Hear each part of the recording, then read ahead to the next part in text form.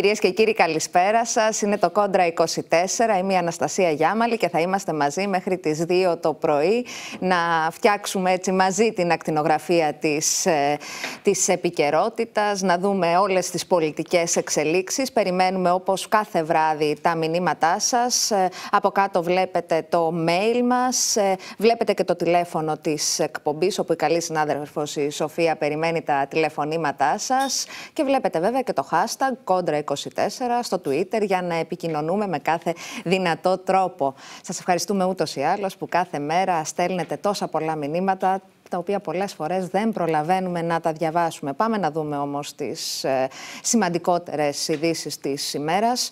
Στη Βουλή διαβιβάστηκε από την εισαγγελία του Αρίου Πάγου η δικογραφία προκειμένου αυτή να διερευνήσει τυχόν αξιόπινες πράξεις πολιτικών προσώπων στην υπόθεση Νοβάρτης μετά από τις μηνύσεις των κυρίων Σαμαρά και Βενιζέλου. Σε ανακοίνωσή του ο ΣΥΡΙΖΑ καταγγέλει πως η πολιτική ελίτ που ευθύνεται για το σκάνδαλο Νοβάρτης ενορχιστρώνει τώρα και δεύτερο σκάνδαλο αυτό της συγκάλυψης και του ρεβανσισμού για όσους το ανέδειξαν, με τη Νέα Δημοκρατία να απαντά ότι ρεβάν συζητάει όποιος έχει ιτηθεί και αυτός είναι ο ΣΥΡΙΖΑ.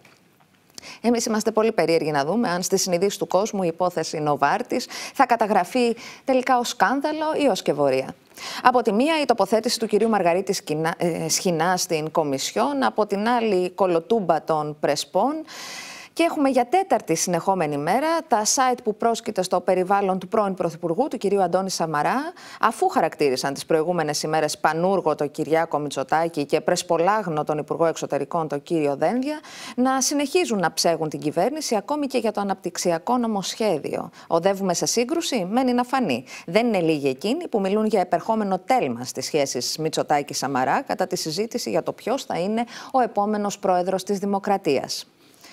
Τώρα, σε άλλο θέμα, το μετρό της Θεσσαλονίκης και ειδικά οι σχεδιασμοί της κυβέρνησης για τον σταθμό Βενιζέλου αναγορεύτηκαν σε πρώτο θέμα στην, τριήμερη, στην πρώτη μέρα της τριήμερης επίσκεψης Τσίπρας στη συμπρωτεύουσα, με τον αρχηγό της αξιωματικής αντιπολίτευσης να κατηγορεί την κυβέρνηση ότι η απόφαση για την απόσπαση των αρχαιοτήτων από το σταθμό Βενιζέλου αποτελεί ένα ωραίο δώρο στο νέο εθνικό εργολάβο.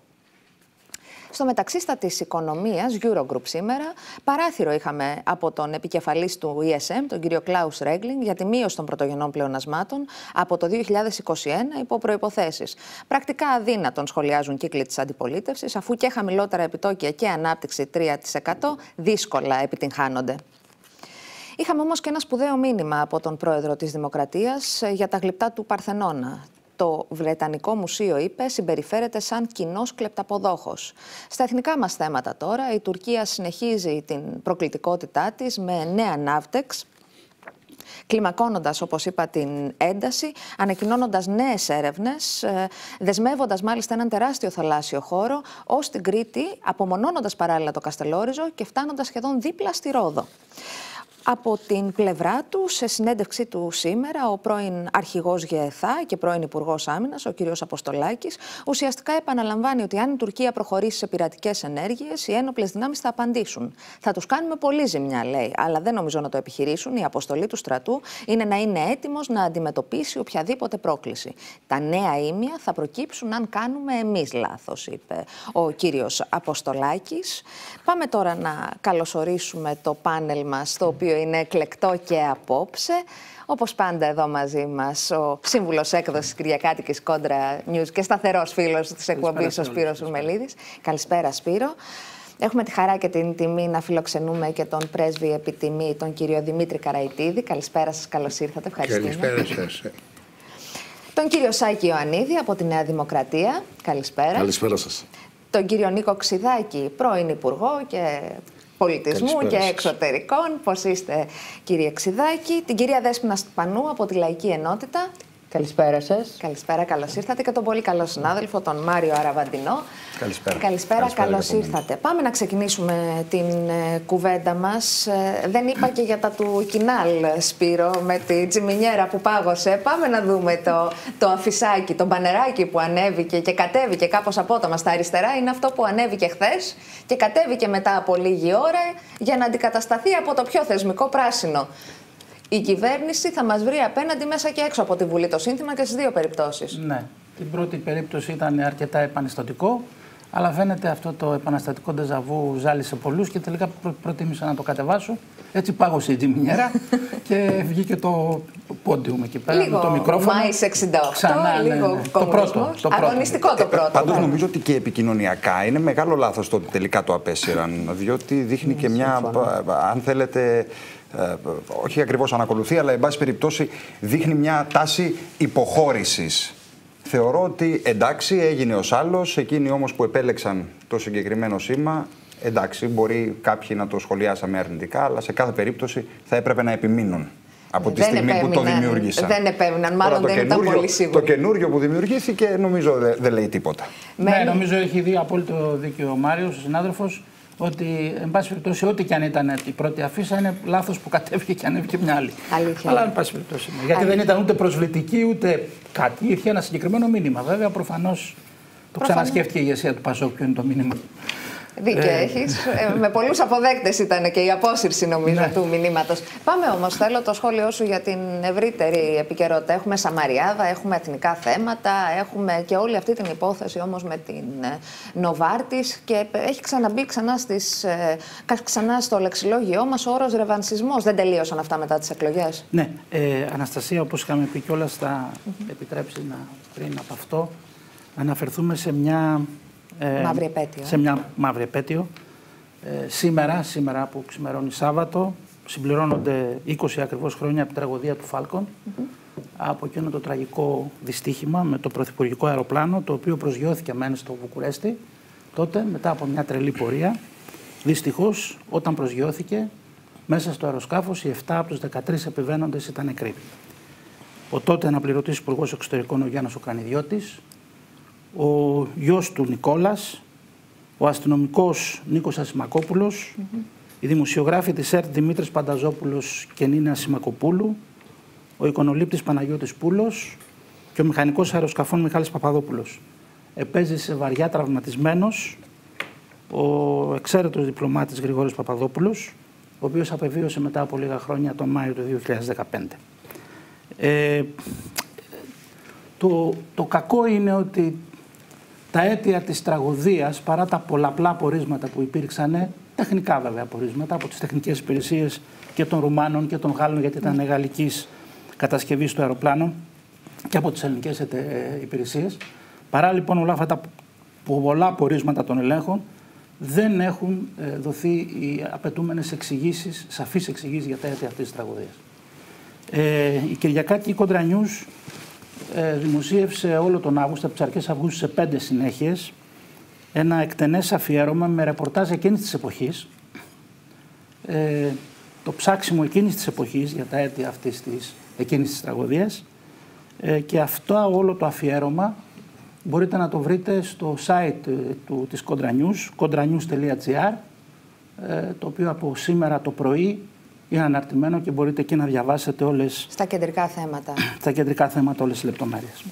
Αυτό σε ό,τι αφορά αυτήν την ε, Αυτό είναι το δυσάρεστη Falcon, το βλέπουμε. και πολύ αυτή η επέτειο. Θα μπορούσα να... Ναι, ναι, κύριε Πρέσβη, φυσικά, φυσικά, ναι.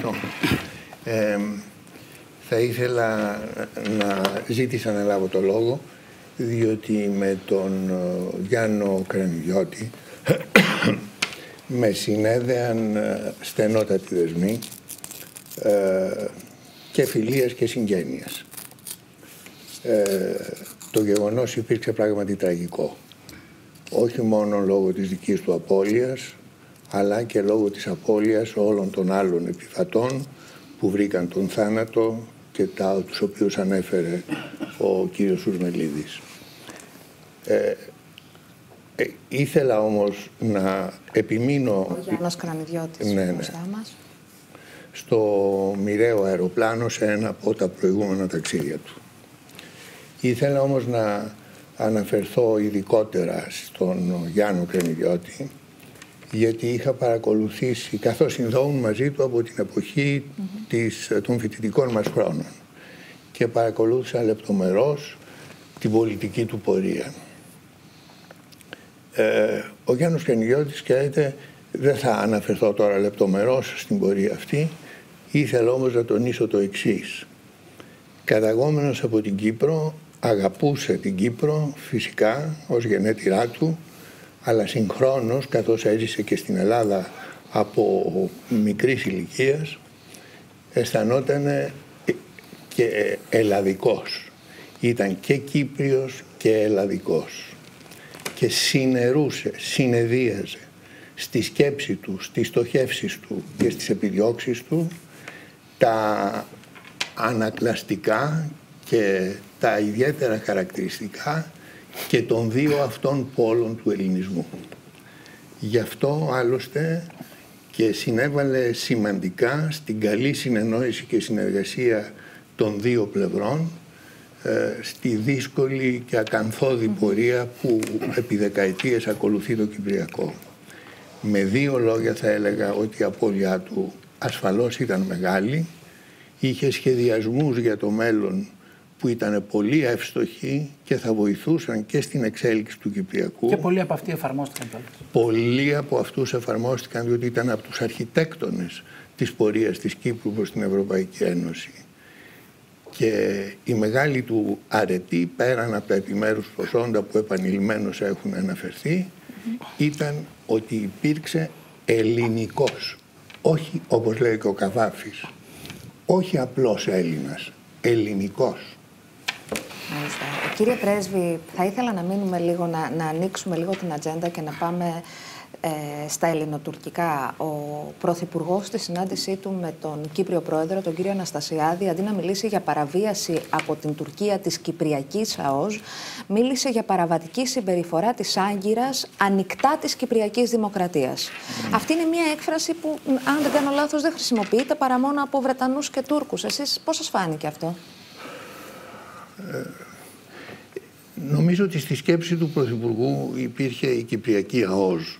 Ε, είναι γεγονός ότι δεν είναι συνήθις η χρήση αυτής της φράσης για τον προσδιορισμό της Κυπριακής ΑΟΣ, αλλά ε, από την πλευρά μου δεν θα θεωρούσα ότι η, επρόκειτο για μια εσκεμμένη διατύπωση που υπέκρυπτε ή υποδήλωνε κάτι διαφορετικό από παραβίαση της ΑΟΣ στη σκέψη του, του Πρωθυπουργού. Ε, είτε πούμε ανοιχτά της Κύπρου, έτσι κι αλλιώς και η ΑΟΣ ανοιχτά της Κύπρου βρίσκεται. Η αίσθησή μου είναι ότι δεν επρόκειτο για την σηματοδότηση μιας αλλαγής στην αντίληψη που έχει η ελληνική ηγεσία σχετικά με τις παραβιάσεις που επιχειρεί η Τουρκία, τις πολλαπλές και, και βάναυσες παραβιάσεις που επιχειρεί η Τουρκία ε, στις θαλάσσιες ε, ζώνες της ε, Κύπρου. Μιας και πιάσαμε το θέμα της αλλαγής θέσεων, πώς βλέπετε τις ε, νέες δηλώσεις, την αλλαγή στάσης ε, της κυβέρνησης πλέον σε σύγκριση με όσα έλεγε προεκλογικά αναφορικά με τη Συμφωνία των Πρεσπών; Έπαψε να είναι προδοτική η συμφωνία, είναι μια συμφωνία που θα τηρηθεί και θα τιμηθεί. Ε, στη συμφωνία των, για, τη, για τη Συμφωνία των Πρεσπών είχε γίνει πολύ μεγάλη συζήτηση και πρώτης επικυρώσεως της από την Ελληνική Βουλή και βεβαίως και κατά την προεκλογική περίοδο. Ανήκω σε εκείνους που ε, από την πρώτη στιγμή υποστήριξαν ότι η συμφωνία αυτή δεν μπορούσε να χαρακτηριστεί ως προδοτική, αλλά συγχρόνως βαρινόταν με σοβαρές, κατά την εκτίμησή μου, ε, αδυναμίες και αυτό το ετώνιζα όχι επειδή ε, είναι καλό να έχει κανείς μια σφαιρική γνώση των θετικών και μη θετικών στοιχείων μιας τόσο κρίσιμης συμφωνίας όπως αυτή, αλλά ε, διότι νομίζω ότι ε, είχαν δημιουργηθεί πολύ καλές προϋποθέσεις για πρώτη φορά αφού το θέμα ετέθη μετά τη διάλυση της Ιουγκοσλαβίας ώστε η ελληνική πλευρά να ε, επιδιώξει και να εξασφαλίσει μία συμφωνία με όρους καλύτερους από αυτούς που επέτυχε. Υπήρξε κατά την εκτίμησή μου μία συνδρομή ευνοϊκών συνθήκων. Το ΝΑΤΟ που επήγε το να δρομολογήσει τη διαδικασία εντάξεως πιέζοντας τα, τα Σκόπια να επιλύσουν τις διαφορές τους με την Ελλάδα το ταχύτερο δυνατόν η Ευρώπη που επίσης επίεζε προς την κατεύθυνση αυτή και θεωρώ ότι θα μπορούσαν οι όροι να είναι καλύτεροι σε, στα γνωστά δύο σημεία που αφορούν την ηθαγένεια και, και τη γλώσσα. Επιτρέπετε, συγχωρέστε με που σας διακόπτω, αλλά νομίζω ότι τελικά η κριτική που γίνεται σήμερα στη Νέα Δημοκρατία δεν αφορά το ότι μπορεί κάποιος να επεσήμανε κάποια λάθη που ενδεχομένως είχε αυτή η συμφωνία, διότι σε μια διαπραγμάτευση δεν μπορείς εκ των πραγμάτων να τα κερδίσεις όλα. Νομίζω ότι η κριτική που γίνεται και αυτό που είπε και η Αναστασία περί κολοτούμπας, όπως λένε πολλοί, αφορά στο ότι πολλά από τα προβεβλημένα στελέχη της Νέας Δημοκρατίας κατέβαιναν στις διαδηλώσεις και διαδήλωναν δίπλα σε μακεδονομάχους της φακής, όσο και αν ακούγεται υπερβολικό αυτό που θα πω, για την ελληνικότητα της Μακεδονίας, αλλά τελικά σήμερα που είναι στην κυβέρνηση υποχρεώνονται όχι απλώς να αποδεχθούν τη συμφωνία, αλλά αναγκάζονται και να αποκαλέσουν το βόρειο γείτονά μας με το όνομά του, δηλαδή ως Βόρεια Μακεδονία. Ξεχάστηκαν αυτά τα οποία έλεγε για παράδειγμα ο Όδωνης Γεωργιάδης ότι δεν θα αποκαλέσει ποτέ τη Βόρεια Μακεδονία με το όνομά της, αλλά θα την αποκαλεί Σκόπια. Νομίζω ότι εκεί είναι το σημείο στο οποίο γίνεται τελικά η κριτική στη, στη σημερινή να, κυβέρνηση. Να πω κάτι, ε, αγαπητοί μου συνάδελφοι, δεν θα ήθελα εγώ να, που δεν είναι να υποβάλω το τι θα πει και δεν θα πει ο κύριος Πρέσβης, αλλά ε, λέω ότι, ότι ίσως να μην θέλει να Ω εκ τη θέσεώ του, λες. Ω εκ τη θέσεώ του να, ασφαλώς, να, εμπλακεί σε μια πολιτική διαμάχη που είναι πολιτική ναι, διαμάχη. Ναι, αλλά παρόλα αυτά δεν Παρακαλώ, θέλω επικαλούμενο. Ευχαριστώ για την παρέμβαση αυτή. δεν θέλω να υπεκφύγω επικαλούμενος στην ιδιότητά μου. Απλώς θα σας έλεγα ότι εκείνο, που, ε, εκείνο το σημείο στο οποίο εστιάζω την προσοχή μου είναι οι επίσημες τοποθετήσεις. Ε, οι κραυγές περί προδοσίας, ε, περί απεμπολίσεως της ε, Μακεδονίας, ε, περί επέσχυντης εθνικής πράξης. Και ε, ανταλλαγής με τις συντάξεις. Με συγχωρείτε. και περί ανταλλαγής. Και... Ε, διατυπώθηκαν διάφορες θεωρίες περί ανταλλαγμάτων, ε, περί υποσχέσεων κτλ. Εν πάση περιπτώσει, ε, ως προς την ουσία του θέματος, αυτά όλα είχαν αφεαυτόν ένα στοιχείο υπερβολής που σε έναν προσεκτικό και υπεύθυνο παρατηρητή ήταν εμφανής, η υπερβολή εννοώ, από την πρώτη στιγμή. Ε, από την άλλη πλευρά φυσικά και οι θριαμβολογίες περί υποδειγματικής συμφωνίας, περί ενός ε, εξαιρετικά επιτυχημένου ε, δημιουργήματος ε, διεθνούς συνθήκης και αυτά έχουν στοιχεία υπερβολής. Νομίζω ότι καλό είναι να έχει κανείς μια ισορροπημένη και προσεκτική και ρεαλιστική ε, αξιολόγηση και στο, σε ένα τέτοιο πλαίσιο, στο οποίο εγώ προσπαθώ να τοποθετηθώ, ε, θεωρώ ότι η συμφωνία αυτή έχει θετικά στοιχεία, έχει και αδυναμίες, εν πάση περιπτώσει όμως αυτή τη στιγμή έγινε, καλό είναι να συγκεντρώσουμε την προσοχή μας στην εφαρμογή της με τέτοιο τρόπο ώστε τα μειονεκτήματα να αμβληνθούν και τα θετικά στοιχεία να προβληθούν.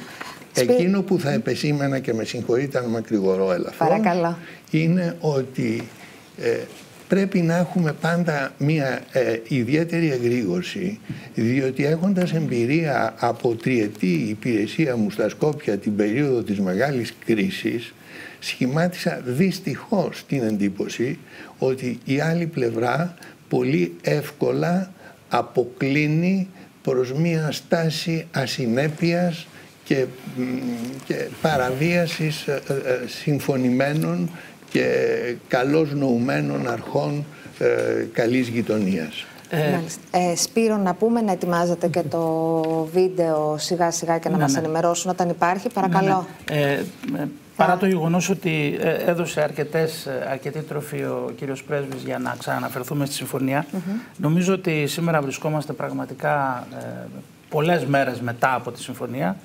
Ε, έχουν φανεί και τα θετικά για τη χώρα. Ναι. Ε, έχει φανεί πρωτίστως το ότι η χώρα είναι απειλαγμένη από ε, αδύναμα στοιχεία και είναι προσανατολισμένη στο να αντιμετωπίσει το βασικό της πρόβλημα από την Τουρκία.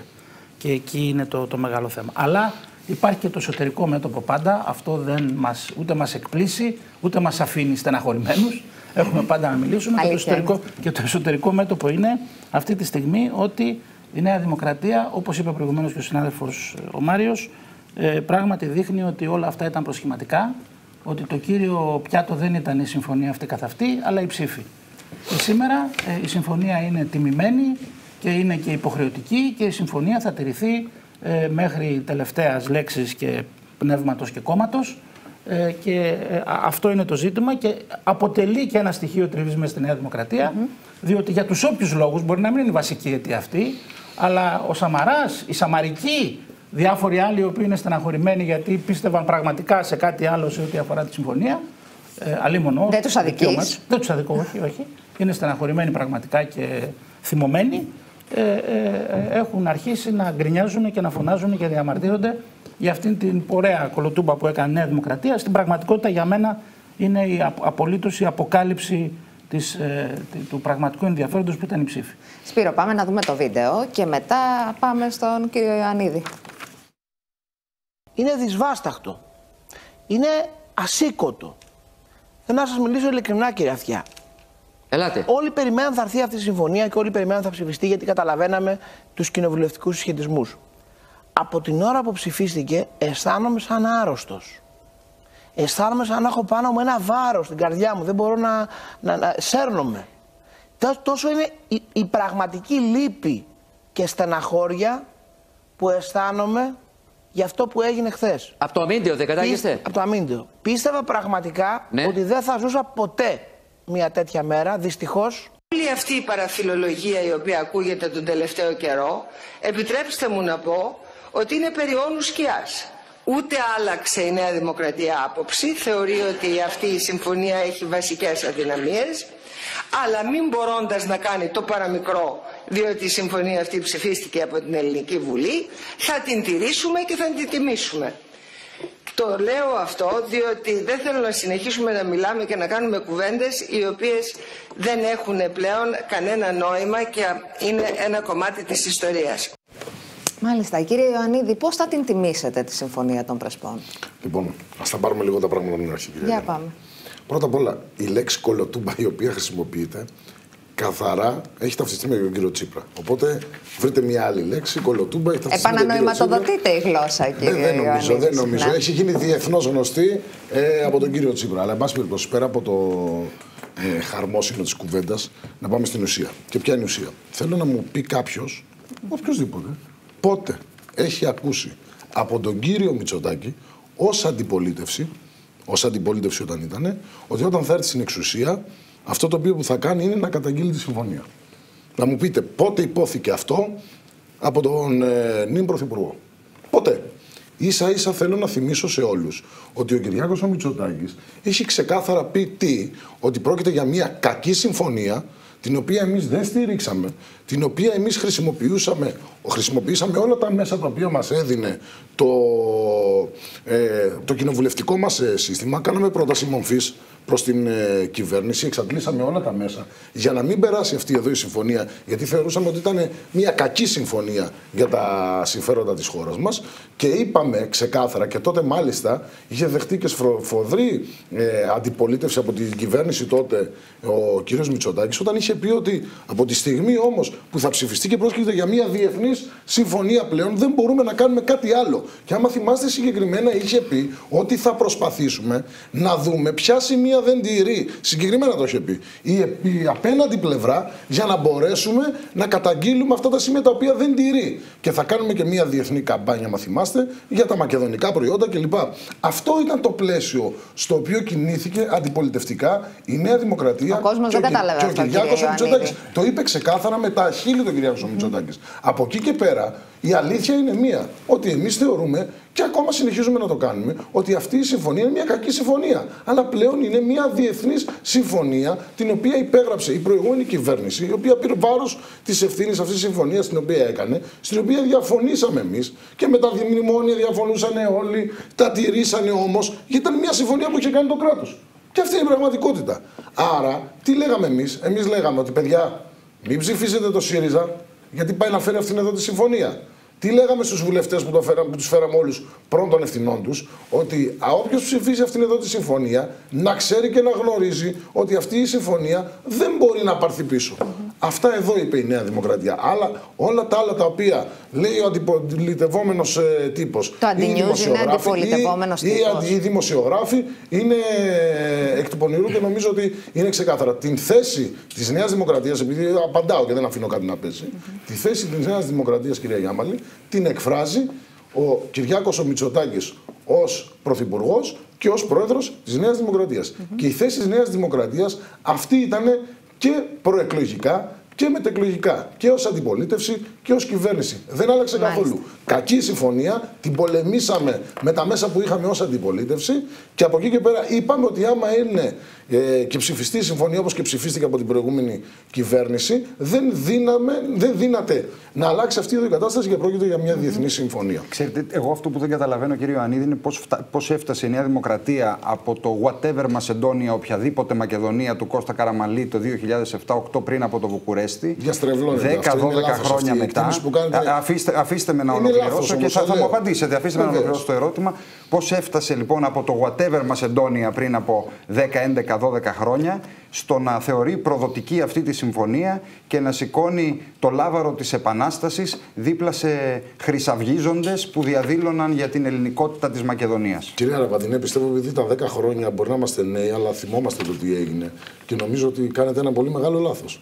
Ουδέποτε υπόθηκε το whatever Μακεδόνια. Ε, πώς; Ίσα ίσα, ε, μα δεν το ξέρετε σε καλά. επιστολές οπότε γράφηκε, το, όχι απλώς οπότε, υπόθηκε. Οπότε, να το, να το μάθετε να λέγοντάς σας εγώ. Εμείς τότε λέγαμε τι, ότι λέγαμε ότι και στο εσωτερικό και στο εξωτερικό θα πρέπει να υπάρχει μία ονομασία για αυτήν εδώ την Αυτό που έμεινε ως Για αυτήν εδώ τη χώρα. Και από εκεί και πέρα, το 2008, με την περίφημη διαπραγμάτευση του Βουκουρεστίου, θυμάστε ότι είχαμε πει ότι εμείς ουδέποτε συζητάμε και δεν μπαίνει στο τραπέζι να μιλήσουμε για εθνότητα ή γλώσσα. Τότε δεν είχε μπει και στο τραπέζι και βέβαια η συνταγματική αναθεώρηση και τότε, της Και τότε, κυρία Γιάμαλη, η πλευρά η οποία τράβηξε το σκηνή ήταν η πλευρά των Σκοπίων. Και γι' αυτό εμείς βάλαμε απειλή βέτου, γιατί βέτο στην πράξη ούτε ποτέ το έθηκε, ξέρετε, απειλή βέτου. Απειλή βέτου. Έτσι, απειλή βέτου για να μην περάσει συμφωνία και ουδέποτε πέρασε η συμφωνία. Και αυτή είναι μια πραγματικότητα η οποία έχει καταγραφεί. Η ουσία ποια είναι τώρα; Η ουσία και είναι με αυτή αυτό να κλείσουμε για να πάμε και να κλείσουμε με αυτό. Η ουσία είναι ότι αυτό το οποίο λέγαμε εμείς ε, ως αντιπολίτευση και προεκλογικά, εμείς αυτό συνεχίζουμε να λέμε. Ότι πρόκειται για μια κακή συμφωνία. Ο Κυριάκος ο Μητσοτάκης το είπε και το ανέφερε και στους ηγέτες του οποίους έχει ε, συναντηθεί. Από το κακή συμφωνία μέχρι το τυρό και τιμό, ξέρετε, υπάρχει μια απόσταση. Ε, ε, Σας το ξαναλέω το έλεγαμε προεκλογικά. Πρόκειται για μια πολύ κακή συνο, ε, συμφωνία. Και μετακλογικά λέτε ότι θα την τιμήσετε. Μια επώδυνη συμφωνία, στην οποία αν ψηφιστεί όμως, όπως επώδυνο ήταν η κυρία Γιάμαλη και το μνημόνιο το οποίο ψηφίστηκε για όλους τους Έλληνες, αλλά βλέπετε ότι όλες οι κυβερνήσεις προσπάθησαν και το εφάρμοσαν για να μπορέσουμε να φύγουμε από αυτήν εδώ την κρίση. Όλες οι κυβερνήσεις, όλες το κατήγγυλαν και όλες το Λέει εδώ η κυρία Νικολέτα γιατί είναι μια ότι ο κύριος Κυρανάκης μας μας θυμίζει πολύ σωστά, έλεγε ότι θα επαναδιαπραγματευτείτε την ε, συμφωνία. Όχι, Ο, ο πρόεδρος της Νέας Δημοκρατίας είναι ο Κυριάκος ο Μητσοτάκης. Άρα δεν είναι ούτε ο Ιωαννίδης, ούτε ο Κυρανάκης, ούτε κανένας δεν είναι πρόεδρος της Νέας Δημοκρατίας. Και αυτά νομίζω έγιναν ξεκάθαρα προεκλογικά και όταν ήμασταν αντιπολίτες. Δεν έγιναν πολύ ξεκάθαρα. Κύριε Ξηδάκη, εσείς τα καταλάβατε έτσι; Ε, να σας πω, καταρχάς δεν είναι διεθνή συμφωνία, είναι διμερή συμφωνία. Mm -hmm. Με τη σφραγίδα Ο καθηγητής θα, θα ακούσετε, δεν υπάρχει καμία σφραγίδα ΟΗΕ και καμία σφραγίδα. Δύο μέρη είναι. Η ελληνική δημοκρατία και η, η, η ΦΥΡΟΜ, η οποία δέχθηκε να αλλάξει το σύνταγμά της και την ονομασία της. Αυτό είναι μια διμερή συμφωνία. Ο καθηγητής Αλιβιζάτος, ο οποίος δεν νομίζω να είναι ιδιαίτερα φίλος ΣΥΡΙΖΑ ή φιλοκάτι, είναι ο καθηγητής Αλιβιζάτος. Απευθύνθηκε στον κύριο Μητσοτάκη δημοσίως, σε δημόσια συγκέντρωση και είπε αν δεν σας αρέσει κύριε Μητσοτάκη θα κάνετε κυβέρνηση. Αν θα κάνετε και έχετε την πλειοψηφία, ρίξτε τη, αναθεωρήστε τη. Αυτή είναι η ξεκάθαρη ε, εξήγηση. Από το ΝΑΤΟ θα βγουν κύριε Ξηδάκη. Αφήστε τα. Είπα, εγώ, εγώ λέω κάτι. Τους δώσαμε το όπλο μας. Καταρχά, καταρχάς, τους δώσαμε το όπλο. Σας άκουσα με μεγάλη Βεβαίως, προσοχή. Ερώτημα Σχολ, σχολ, σχολιάζω το τι είναι διεθνής και το τι είναι ε, διμερής. Είναι διμερή συμφωνία μεταξύ δύο κρατών, τα οποία αποκαθιστούν ένα πλαίσιο συμβίωσης και γειτονίας. Τέλος. Δεν αρέσει την ελληνική κυβέρνηση η κακή συμφωνία; Α τη ρίξει. Όλα τα υπόλοιπα είναι χιδεότητες, ψέματα, τα οποία ταΐστηκε ένα μεγάλο μέρος Προάγει και εύπη- απο- βγάζει εύπιστου και ελληνικού αποτελέσματα λαού. η συμφωνία. Ακούστε Ένα λοιπόν. αποτέλεσμα ήταν Ακούστε. είσοδος του Ακούστε. Λεωνάρντο των υπήρξαν, Σκοπίων. υπήρξαν συντηρητικοί Έτσι. πολιτικοί οι οποίοι χάιδεψαν τα πιο λούμπεν στοιχεία της ελληνικής κοινωνίας για να μαζέψουν ψηφαλάκια. Τελεία. Και με την ίδια χιδεότητα που έκαναν την πατριδοκαπηλεία, με την ίδια απλ... άνεση, τους ξεγελάνε και αυτούς τους καημένους, τους μακεδονομάχους, με τις φουστανέλες και τις άρισες και τις περικεφαλές και λένε τώρα εμείς τι- δεν μπορούμε να κάνουμε αλλιώς. Μην τα λέτε αυτά στους ανθρώπους. Δεν υπάρχει. Δεν υπάρχουν αυτά τα πράγματα. Θέλετε να κάνουμε μια, σο- μια κριτική ότι θα μπορούσε να είναι κάπως αλλιώς κτλ. Αυτό είναι μια άλλη συζήτηση. Αλλά θα πρέπει να έχουμε υπόψη μας τους συσχετισμούς ότι για πρώτη φορά εδώ και πάρα πολλά χρόνια υπήρχε ένας συνομιλητής στην άλλη πρωτεύουσα που ήθελε να μιλήσει με την Αθήνα και σε, αυ- και σε αυτό έπαιξαν ρόλο πολλοί διεθνείς παράγοντες με εργώδεις προσπάθειες επί πολύ καιρό. Ας κάνω μια ερώτηση. Αφήστε. Μια ερώτηση, όχι, δεν, δεν θε- θέλω, όχι, δεν δεν θα, διακόπτω. όχι, δεν θέλω ερωτήσεις. Παράγει, δεν θέλω παράγει ερωτήσεις. αποτελέσματα αυτή η συμφωνία. Όλες, Παρήγαγε. όλες οι συμφωνίες Παρήγαγε παράγουν αποτέλεσμα. αποτέλεσμα. Αν δεν, Παρήγαγε. αν δεν τη θέλει Στην να είσοδο το Σκοπίο στο ΝΑΤΟ. Αν δεν τη θέλει Μόνο το αυτό. ένα Α, μέρος. Το κυρίως πρώτο. Γιατί κυρίως; Έτσι και κυρίως Γιατί αυτό. μόνο αυτό; Γιατί χάσαμε εμείς το όπλο μας. Κύριε Ξηδάκη, Ποιο όπλο παρακαλώ. μας. Το όπλο μας Αφήστε, στο σας πέτο. παρακαλώ, κύριε Ιωαννίδη. Αυτά τα βάζουν και τα Κύριε λένε, Ιωαννίδη, κύριε δεν διευθύνεται τη συζήτηση. Όχι, Τώρα δεν ας, ας διευθύνω, κάνουμε αλλά- μια συζήτηση ωραία. Να Κύριε απαντάτε. Ξηδάκη, Μίλησε ο παρακαλώ. κύριο Καραϊτίδης, μιλήσατε, θα μιλήσω κι εγώ, θα πω μια γνώμη θα πω. Μια... Λοιπόν, Ελάτε. μέσα στην Ελληνική Βουλή, αυτά που είπαν οι βουλευτές, οι οποίοι σήμερα είναι υπουργοί, ήταν εφιαλτικά, ήταν αντρεχιαστικά. Ο ίδιος ο Νίκος Οδένδια, ο οποίος είναι μάλλον νυφάλιο άνθρωπος, ήταν κοινοβουλευτικός εκπρόσωπος και ήμουν και εγώ κοινοβουλευτικός εκπρόσωπος στη συζήτηση για τη Συμφωνία των Πρεσπών. Είπε σκληρά πράγματα. Τα πήρε πίσω όμως τώρα. Φυσικά, φυσικά. Γιατί άλλο είναι να, να μαζεύεις ψήφους και άλλο είναι να, να κυβερνάς μια χώρα. Είναι λίγο, λίγο διαφορετικά πράγματα. Το ένα είναι η απόλυτα αναγκαία νομιμοποίηση, να πάρεις την ψήφο, λέγοντας όμως ορισμένα πράγματα στους πολίτες που σε ψηφίζουν, όχι λέγοντας άλλα και πράττοντας άλλα. Και άλλο πράγμα είναι να είσαι ένα statesman, να περάσεις την πόρτα του Υπουργείου σου και να κυβερνήσεις τη χώρα. Κοιτάξτε, ο ηθοποιός ε, Άδωνης Γεωργιάδης Πώς έκλαιγε. Αποκαλείται στο ηθοποιό γιο- τον Υπουργό Ηθοποιός Ανάπτυξης. είναι, ναι, δεν είναι κακό να είσαι ηθοποιός. Αλλά είναι άλλη τέχνη του ηθοποιού και άλλη η τέχνη του πολιτικού. Τι έλεγε για την πονεμένη του καρδιά και εξακολουθεί να λέει ότι έχω δύο εαυτούς. θυμίσω τι έλεγε ο ΣΥΡΙΖΑ πριν το είμαι ο, 15. ο πολίτης και ο πολιτικό. κάνετε μαθήματα τώρα Ό,τι, μας. θε, ό,τι θέλετε να θυμίσετε. Ότι- πριν το 15 Συζη- θυμάστε τι Συζητάμε έλεγε ο για το κύριος Τσίπρας για τα συγκεκριμένο πάντα. θέμα της συμφωνίας Όχι, των Πρεσπών. συζητάμε- Το οποίο, το οποίο είναι ένας γόρδιος δεσμός για την ελληνική εξωτερική πολιτική. Συζητάμε για την ψηφοφορία. Πνιγήκαμε, για την πνιγήκαμε ψηφοφορία. μέσα στη δεξαμενή, μέσα στο τέλμα που εν πωλής Συζητάμε ήδη για- κατασκευάσαμε. Για ψηφοφορία. Αφήστε τώρα, Θυμηθείτε αφήστε τώρα. πριν το 15 τι έλεγε ο ΣΥΡΙΖΑ. Πετάτε κύριε την Ξινέλη. μπάλα αλλού, Δεν κύριε πετάω Ιωαννίδη, πουθενά ενώ την μπάλα. Ιωαννίδη, συζητάμε Αυτό αναφέρει στις ο κύριος πρέσβες. Ξ- Κύριε Ξινέλη. Ιωαννίδη, Για ψηφοφορία. κύριε Ιωαννίδη, μιλάω για το κοινοβούλιο, την κυβέρνηση και τη διεθνή θέση της χώρας. Αν θέλετε να μιλήσουμε με όρους αμφιθεάτρου ε, συνδικαλιστικού, Μα μιλήσατε εσείς για ψηφοφορία. Σας παρακαλώ, μην μη, με, με, μην με διακόπτετε, σας παρακαλώ. Αλλού αυτά. Μα δεν σας Αλλού λέω, αυτά. ούτε- Αλλού Κύριε, αυτά. κύριε. Κάνουμε Ούτε μια βέβαια. συζήτηση. Κύριε. Ένα, Συζήτηση κάνουμε. ένα επιχείρημα να πτήσω. Σας απα- Ένα πάντα- επιχείρημα να πτήσω. Λοιπόν, αυτή είναι η κατάσταση. Έτσι πήγε η συμφωνία των Πρεσπών. Ε, νομίζω ότι ακόμη και με τις αδυναμίες της είναι μια εποφελή συνθήκη γενικά για την ελληνική εξωτερική πολιτική. Της δίνει πατήματα να πατήσει και να προχωρήσει, θα δει και τις αδυναμίες στο μέλλον. Το σημαντικότερο είναι η άλλη πλευρά να λάβει τη σταθεροποίηση την οποία επιθυμούσαμε Ναι. και για την οποία έγινε και όλη η κίνηση και να έχουμε εξελίξεις στα Βαλκάνια οι οποίες θα είναι προς όφελος όλων, όλου του βαλκανικού συστήματος, όλων των εθνών κρατών και ελπίζουμε και στη, στο τέλος αυτής της χρονιάς θα τεθεί και η αρχή της υποψηφιότητας και της ενταξιακής πορείας.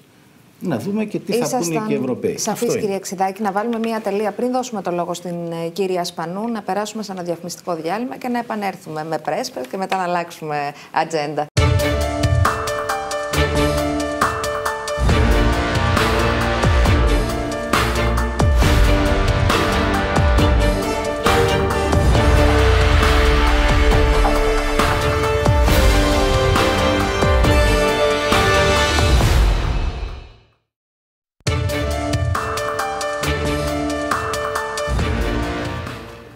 Επιστρέψαμε εδώ στο Κόντρα 24.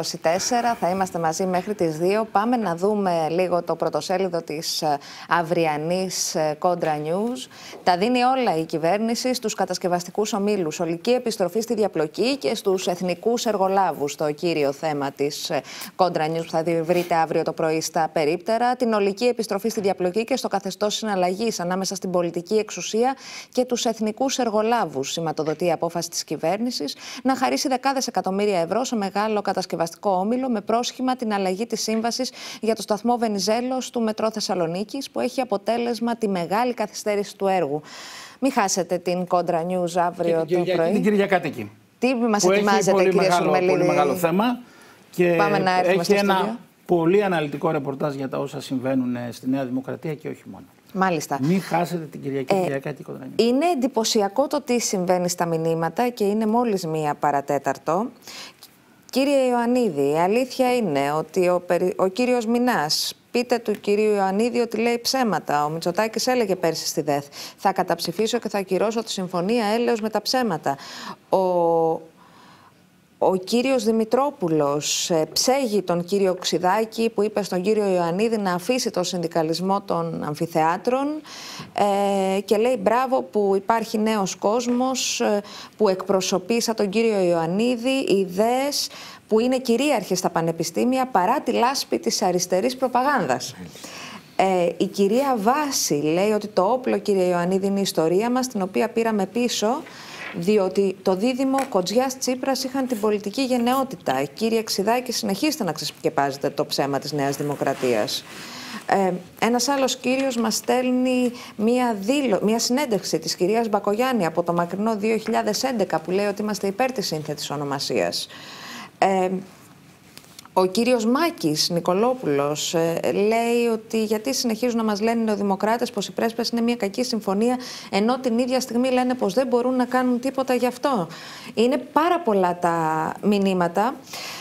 Πάμε να συνεχίσουμε. Κυρία Σπανού, εσείς τι λέτε για όλα αυτά; Είναι κακή η συμφωνία, η συμφωνία των Λοιπόν. Πρεσπών; Η αλήθεια είναι ότι η θέση της λαϊκής ενότητας ξένησε πολύ κόσμο στην Λοιπόν, αριστερά. κοιτάξτε να δείτε. Καταρχήν να, να κάνω ένα σχόλιο, γιατί Παρακαλώ. Κολοτούμπας δεν είναι μόνο ο κύριος Τσίπρας σε σχέση με αυτά που έλεγε πρώτα και Ναι. με το τι εφήρμοσε. Δυστυχώς η Κολοτούμπα στην πολιτική είναι συχνό φαινόμενο και είναι και άλλοι, λέω δυστυχώς, γιατί αυτό οδηγεί και στην απαξίωση του πολιτικού συστήματος. Είδαμε και προεκλογικά διάφορα και βλέπουμε και τώρα. Επομένως, με- μέσα σε αυτά τα πλαίσια είναι και η τακτική της Νέας Δημοκρατίας. Λοιπόν, η Νέα Δημοκρατία δεν θα μπορούσε να μην, είναι, να μην υπαναχωρήσει, να μην κάνει κολοτούμπα στον αφορά την ε, συμφωνία. Εμείς ήμασταν κατά της συμφωνίας των Πρεσπών για, ένας πολύ, για πολύ συγκεκριμένους λόγους, αλλά κυρίως για το γεγονός ότι δεν ήταν μια συμφωνία που ήρθαν οι ηγέτες δύο χωρών για να συζητήσουν. Ήταν μια συμφωνία που την ήθελε το ΝΑΤΟ και η Ευρωπαϊκή Ένωση και εμείς ε, θεωρούμε ότι η ενίσχυση του ΝΑΤΟ στα Βαλκάνια είναι αρνητική είναι ε, για τη χώρα μας. Εμείς αυτό θεωρούμε και συνολικά και για τα Βαλκάνια. Λοιπόν, για τις χώρες των ε, Βαλκανίων. Με όλα τα... ε, Δεν βοηθάει και- να έχουμε ένα μέτωπο λιγότερο με δεδομένη την ευρικότητα της Τουρκίας που είναι... Δεν μας Αν βοηθάει υπάρχει αυτό. κάποια Δεν απειλή νομίζω. είναι αυτή. Είδατε πουθενά το ΝΑΤΟ να μας στηρίζει σε όλη αυτή τη διαδικασία; Ισχύει, κυρία Γιάμαλη, αυτό που έχει πει ο κύριος Αποστολάκης, ότι αν συμβεί το οτιδήποτε θα είμαστε μόνοι μας. Το βλέπουμε συνεχώς. Την Τουρκία τη χαϊδεύουν οι πάντες. Ή τουλάχιστον βγάζουν κάποιες ανακοινώσεις, αλλά μένει μέχρι, το, το θέμα μέχρι εκεί. Λοιπόν, επομένως η Νέα Δημοκρατία η οποία είναι ο άξονα τη στο ΝΑΤΟ και η Ευρωπαϊκή Ένωση δεν θα μπορούσαν ποτέ να είναι κατά. Απλώς χρησιμοποίησαν αυτό το θέμα εκμεταλλευόμενοι τις ευαισθησίες του, του, ενός μεγάλου κομματιού του ελληνικού λαού. Μάλιστα. Και είχαμε, θυμόμαστε τις διαδηλώσεις, θυμόμαστε τα συλλαλητήρια, θυμόμαστε όλα αυτά που λέγονταν. Δεύτερον, να πούμε ότι την επίσημη ε, θέση την εξέφρασε ο κύριος Μητσοτάκης, ο οποίος και εγώ τον θυμάμαι τον κύριο Μητσοτάκη να λέει ότι θα την ακυρώσει, αλλά να μην πω αυτό. Να πω Φέρτε ότι τον, κοιτάξτε, ρε παιδιά, δεν το ακούστε είπε κυ- αυτό. κύριε Και Ιωαννίδη, και ο μην κύριος που το διακόπτετε. ανέφερε, να Κύριε μας το φέρει. Ιωαννίδη, μην διακόπτετε τους πάντες. διακόπτω. Λοιπόν, όμως ξέρουμε όλοι ότι κοιτάξτε να δείτε, υ- μπορεί να υπάρχουν μειοψηφούσες απόψεις σε ένα κόμμα. Την άποψη, την κυρίαρχη, υπάρχει και μια πλειοψηφική άποψη, την εκφράζει ο ηγέτης. Αν κάποιοι λένε διαφορετικά, τους βάζουν στη θέση τους νομίζω. Ή βγαίνουν και λένε, κοιτάξτε να δείτε, αυτό δεν μας εκφράζει. Το ακούσατε εσείς πουθενά όλη την προεκλογική περίοδο; Οι πάντες βγήκανε και λέγανε, ας πούμε. Θυμάμαι τον κύριο Γκιουλέκα συγκεκριμένα. Θυμάμαι ένα σωρό άλλα στελέχη και είδαμε εδώ και τον κύριο ε, Γεωργιάδη. Τους είπε, βγήκε ε, κάποιος να πει επισήμως ή ο κύριος Μητσοτάκης ότι κοιτάξτε αυτές είναι απόψεις που δεν εκφράζουν την άποψη τη Νέας Δημοκρατίας. Η συμφωνία είναι σοβαρό θέμα και εμείς μπορεί να μην συμφωνούμε, αλλά εφόσον ψηφίστηκε θα την εφαρμόσουμε; Φυσικά όχι. Λοιπόν, μην λέμε τώρα ότι ε, την επίσημη ήταν. Σαφώς τώρα γίνεται η παναχώρηση γιατί σου λέει εντάξει, κερδίσαμε ένα κομμάτι των ε, ψηφοφόρων. Επομένως, δεν ε, μας ενδιαφέρει τι θα γίνει παραπέρα. Το λέω σαν αρνητικό φαινόμενο για ένα πολιτικό σύστημα πώς λειτουργεί συνολικά. Δεν είναι μόνο γι' αυτό.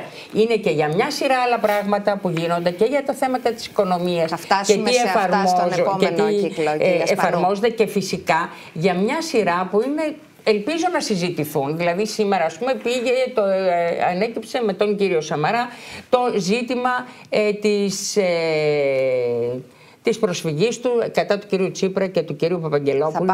και συζητιέται όλο αυτό το θέμα. Ναι, θα μας απασχολήσει πάλι το ζήτημα της Νοβάρτης, το οποίο φαίνεται να μην ξεκαθαρίζεται ποτέ, αλλά να μένει έτσι και να συζητιέται. Υπάρχουν όμως και πολύ σοβαρότερα θέματα. Εγώ το αναπτυξιακό νομοσχέδιο και, αυτό που, και αυτά που περιέχει μέσα τα θεωρώ πολύ πιο σοβαρά σε σχέση και με τις συνέπειε. Νομίζω ότι εδώ τα λέμε όλα. Ναι, ναι, σε σχέση και με τις συνέπειες που θα έχει. Γιατί θα έχει τις πιο αρνητικές συνέπειες.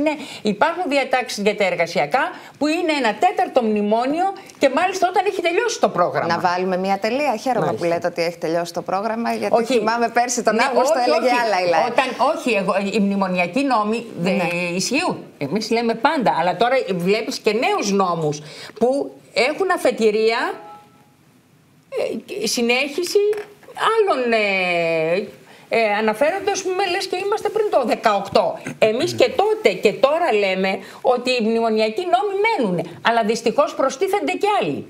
Ναι. Είναι εντυπωσιακό αυτό το οποίο συμβαίνει εδώ στα mail. Ε, στέλνουν βιντεάκια με τις δηλώσεις του κυρίου Μητσοτάκη ε, για την συμφωνία των Πρεσπών back to back ο κόσμος, το τι έχει πει για τη συμφωνία, ότι θα την καταψηφίσει. Ε, αυτό εντάξει. Ναι. Είναι εντυπωσιακό. Θα καταψηφίσουμε και θα ακυρώσουμε τη συμφωνία. Είναι πάρα πολύ ο κόσμος που στέλνει μηνύματα. Πάντως ενημερωμένοι. Δηλαδή έχουμε ε, όχι, βίντεο κατεβάζουν. Μας, ε, μας στέλνει βίντεο τα οποία δεν μπορώ να τα... Κύριε Καμπουρίδη που δεν λογοκρίνω, δεν γίνεται να το παίξουμε από το iPad. Ε, θα το δούμε και την επόμενη φορά σας υπόσχομαι εγώ ότι θα το παίξουμε. Ε, ωστόσο, για να δώσω και το λόγο στον ε, συνάδελφο, τον Μάριο τον Αραβαντινό, ε, έχω ένα οργισμένο μήνυμα από την κυρία Ελένη, η οποία λέει ότι είναι μια Μακεδονομάχος της Φακής που πήρε μέρος στις διαδηλώσεις ναι. για να διαμαρτυρηθεί για το ξεπούλημα της Μακεδονίας της πατρίδας μας και απορώ πως υπάρχουν πολίτες που ζουν σε αυτή τη χώρα και πληρώνονται από τον Ιδρώτα των Ελλήνων και αποκαλούν... Δεν νομίζω ότι πληρώνεται ο κύριος Αραβατινός από τον Ιδρώτα των Ελλήνων. Όχι, Δουλεύετε στον ιδιωτικό τομέα, αν δεν κάνω λάθος κύριε Αραβατινό. Στον ιδιωτικό τομέα όλα μου Άρα δικαιούστε να εκφράζετε την άποψή σας ελεύθερα. Ασφαλώς, αλλά οφείλω και μια απάντηση στην κυρία. Παρακαλώ, γι' αυτό. Και, και, τη στιγμή εκείνη που χρησιμοποίησα τη φράση εκείνη, είπα ότι το λέω με μια δόση υπερβολής. Ασφαλώς και θέλω να είναι σαφές αυτό, δεν είναι ε, ούτε ακροδεξιός ούτε φασίστας ε, όποιος κατέβηκε να διαδηλώσει για τη Μακεδονία. Οι πατριωτικές ευαισθησίες του καθένα Υπάρχουν είναι άνθρωποι σεβαστές. που έχουν πατριωτικές ευαισθησίες και πολύ καλά κάνουν και τις διαδηλώνουν διότι σε μια δημοκρατία χωρούν όλες οι απόψεις. Αυτό που στην πραγματικότητα ήθελα να καυτηριάσω mm λέγοντας αυτό που είπα είναι ότι είδαμε την εποχή εκείνη πέρυσι δηλαδή και πρόπερσι, μεγαλοστελέχη της Νέας Δημοκρατίας που σήμερα έχουν υπουργικές καρέκλες να διαδηλώνουν δίπλα σε ανθρώπους που δεν ήταν αυτοί τους οποίους αποκαλούμε αγνοί πατριώτες, αλλά άνθρωποι με αντιλήψεις φασιστικές. Γιατί δεν είδα μόνο εγώ, το είδαμε όλοι μας το έχει δει ασφαλώς και ο κύριος Ιωαννίδης, που δεν ξέρω αν πήγατε σε κάποια τέτοια διαδήλωση συγκέντρωση, κύριε Ιωαννίδη. Πολύ ωραία. Είδατε λοιπόν κι εσείς εκεί ότι υπήρχαν άνθρωποι οι οποίοι δεν μπορούν να χαρακτηριστούν αγνοί πατριώτες, αλλά ανήκουν σε μια άλλη κατηγορία, πολύ πιο ακραία και είναι μια κατηγορία στα θολά νο- νερά της οποίας. Γιατί πρέπει να προβάλλουμε αυτούς και να μην προβάλλουμε τον η νέα εκατομμύριο του Αυτοί δημοκρατία. έδιναν τον τόνο, κύριε Αυτοί Ιωαννίδη. έδιναν τον τόνο. Δυστυχώς. Στου Δυστυχώς. αγανακτισμένους ποιος τον έδινε τον τόνο; Ρωτάτε Ποιος την τον γνώμη έδινε; μου. τον τόνο, Γενική κύριε ερώτηση, Ιωαννίδη. δεν ρωτάω εσάς. Αν Στου θέλετε να σας αγανακτισμένου, πω. ο ΣΥΡΙΖΑ που ήταν στην κάτω πλατεία, με τη Χρυσή Αυγή που ήταν στην πάνω πλατεία, που ήταν μαζί δηλαδή στην Εντάξει, ίδια αυτό πλατεία. το αφήγημα, Ποιος έδινε τον τόνο. Κύριε αυτό το Ξηδάκη, αφήγημα παρακαλώ. ότι στου αγανακτισμένους Ε, συμμετείχαν οι Σας κοιτάζει ο χρυσαυγίτες. κύριος Ξηδάκης αποσβολωμένος, παρακαλώ. κύριε Ιωαννίδη. Ε, Οπότε γιατί; παρακαλώ να Είναι- του δώσουμε είναι τον λόγο ψέματα. και στην κυρία Επίσης και Σπανού. τότε ήμουν Είναι και εγώ, ψέματα. βέβαια. Δεν το Έλεος. καταλαβαίνω. Έλεος ήταν η αντίδραση ενός κόσμου στα μνημόνια και στην φτωχοποίησή του. Στην Δεν άγρια, υπήρχαν στην στοιχεία άγρια τέτοια. φτωχοποίησή Όλοι του. Δεν υπήρχαν στοιχεία τέτοια. Μπορεί να Δεν υπήρχαν. Αυτό τι σημαίνει Δώσε μας όμως. ένα. Εκεί Εγώ δεν σβάστηκες δεν απάντηση. Είδα. Εγώ Κύριε σβάστηκες Ιωαννίδη, και είναι ναζιστικούς επισήμανος και διαφορά είναι δεν είδα στους ότι δεν αγανακτισμένους. οργανώθηκε, Και εγώ δεν ξέρω. δεν οργανώθηκε Και- από κάποιο κόμμα. Εγώ δεν είδα κάτι Το Σύνταγμα. συγκεκριμένο που να είναι. Το Γιατί από τη επικαλούνται Νέα από τη Νέα Δημοκρατία Δημοκρατία. Από τη Νέα οργανώθηκε η- Καλά, Δημοκρατία. είναι κάλεσμα. Το πρώτο κάλεσμα ήταν από τον κύριο Κυρανάκη από το Λοιπόν, Facebook. εντάξει. του Το είχαμε δει, Προσωπικά ο νομίζω. καθένας Κάνω και εγώ λάθος, πήγα, Μάρια, και εγώ νομίζω δεν κάλεσα τον κάνω. κόσμο. Εντάξει, κύριε Νομίζω εγώ πήγα και εγώ κύριε κάλεσα τον Ιωαννίδη, κόσμο. προφανώ Πάντως, δεν είχατε αν πάει θεωρείτε- σε συγκεντρώσεις των Αν αγανακτισμένων θεωρείτε και γι' αυτό ένα ακριβώς εκατομμύριο δεν κόσμο Ναι, και τους δεν παραδίδετε σε τέτοια στοιχεία, τότε τι να σας πω.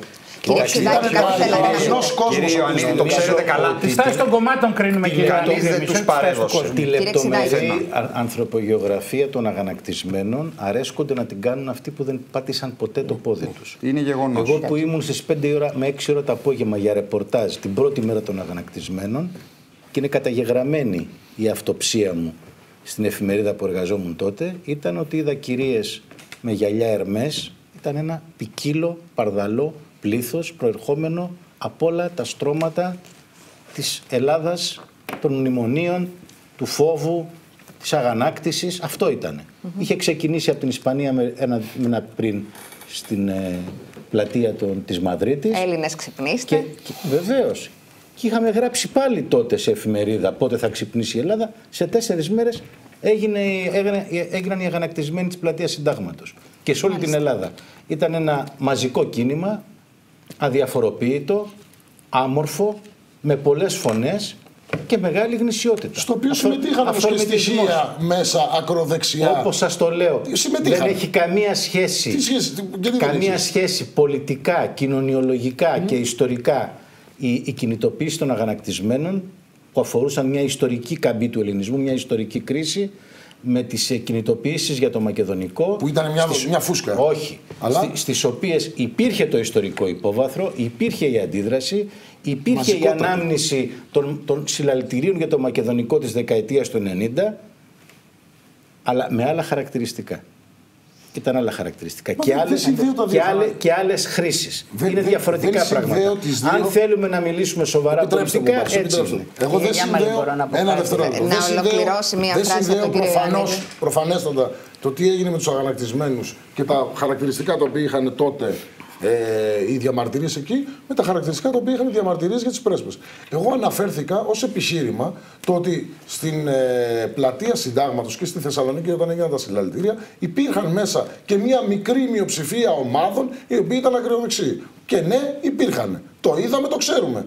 Όπως αντίστοιχα αναφέρομαι, υπήρχαν και στους αγανακτισμένους οργανωμένο κομμάτι στην πάνω πλατεία και το ξέρουμε όλοι μας. Γιατί και Τότε που ο Ξηδάκη- κύριος Σαμαράς εσείς, καλούσε κύριε να σκίσουμε τα Ξηδάκη, εσείς μνημόνια, είσαστε λέτε. δημοσιογράφοι και εμείς κυκλοφορούσαμε στον κόσμο. Δεν είμαστε των ε, σαλονιών και τέτοια, έξω στην πιάτσα είμαστε. Και ήταν πάνω στην πάνω πλατεία και το ξέρετε και το γνωρίζουμε όλοι.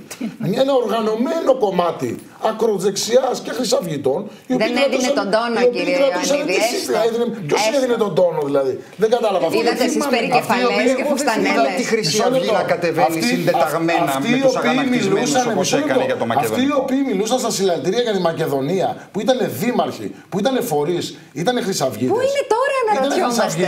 Πού είναι τώρα, Ήταν ε, ακροδεξιοί. αυτό είναι το Ο ερώτημα; απλός λαός που πήγε ήταν ακροδεξί. Εγώ είμαι ακροδεξιός.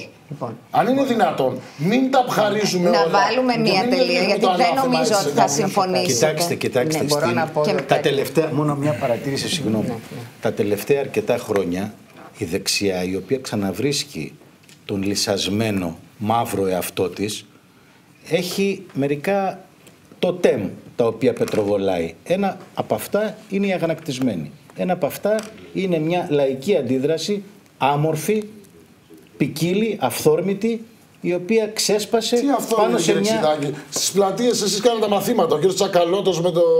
με όλου του υπουργούς μετέπειτα Κι- του ΣΥΡΙΖΑ. κοιτάξτε, Τι κοιτάξτε. μου λέτε τώρα; Κοιτάξτε, και είναι- επειδή αναφέρετε με Μπερδεύετε πολύ, τις σειρά- συνελεύσεις. με Κοιτάξτε. πολύ, με πολύ Κύριε Ιωαννίδη, απαξιωτικό ύφος. Θα είμαι, σας πω το- είμαι, είμαι θα υπέρ σας του πω- πολιτικού διαλόγου, Κι εγώ είμαι, αλλά αλλά τα- όχι, όχι Κύριε τις, Γιάμαλη, όχι εγώ τις είμαι. απρέπειες Παρακαλώ. κατά τη συνομιλία. Απρέπεια- είστε, είστε απρεπείς. Απρέπεια είναι όταν αναφέρεστε Διακόπτετε... προς τη δεξιά με αυτόν τον Κύριε, τρόπο. Προς τη κύριε. δεξιά, είσαστε, είσαστε η Δεξιός. δεξιά εσείς. Δεξιός, βεβαίως, Ένα, βεβαίως. Ένας δεξιός. Βεβαίως. Υπάρχουν και άλλοι δεξιοί, Βεβαίως. οι οποίοι είναι χιδαίοι και λούμπεν. Αυτό Ό- σας όπως λέω. και αριστεροί. Και αριστεροί, Και βεβαίως. αριστεροί. Μπορώ Δεν να μιλάω το για ξέρω. εσάς. Μιλάω Παράκληση, γενικά κύριε. πολιτικούς όρους. Λοιπόν, Δεν μπορεί να το χωνέψει αυτό η συντηρητική παράταξη. Ότι υπήρξε μια αντίδραση. Δεν μπορεί να χωνέψει ότι έγιναν μερικές κινήσεις, ένας πολιτικός μετασχηματισμός, ότι κάπως συζητάμε, ότι διεσώθη η δημοκρατία.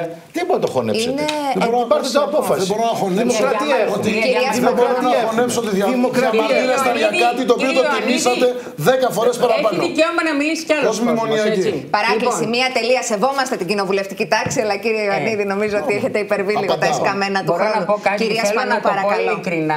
Ειλικρινά, διότι ε, να υπερασπιστώ κινητοποιήσεις της εποχής εκείνης. Η Νέα Δημοκρατία μπορεί να θέλει να, να τις απαξιώσει, αλλά ήταν πραγματικά ένα ξέσπασμα του ελληνικού λαού. Μπορεί να έφερε τα αποτελέσματα, μπορεί ο, ο ΣΥΡΙΖΑ να έκανε την κολοτούμπα που ανέλαβε την εξουσία μετά. Αυτό όμως δεν μειώνει καθόλου Ο ΣΥΡΙΖΑ την αξία. ξαναεξελέγει, την αξία ξαναεξελέγει κανονικά, μετά το εντάξει.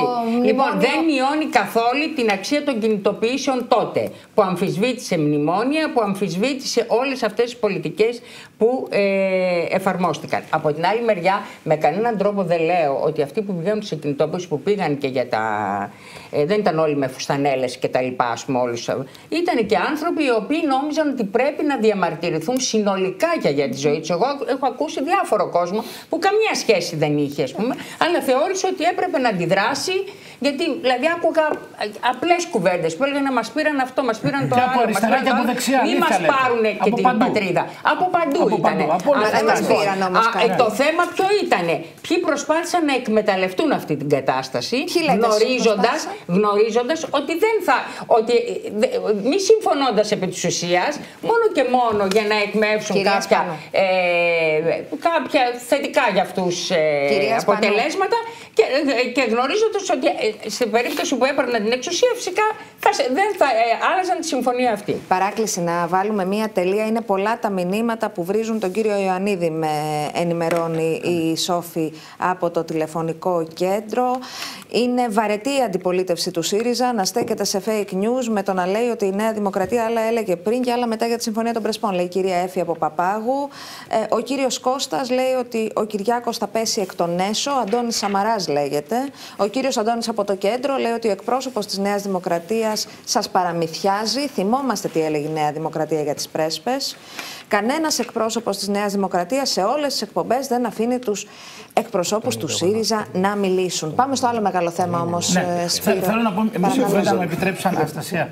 Επειδή η προηγούμενη συζήτηση διαβάζονται. έχει ενδιαφέρον, έχει ενδιαφέρον και, για, και για τη συνέχεια.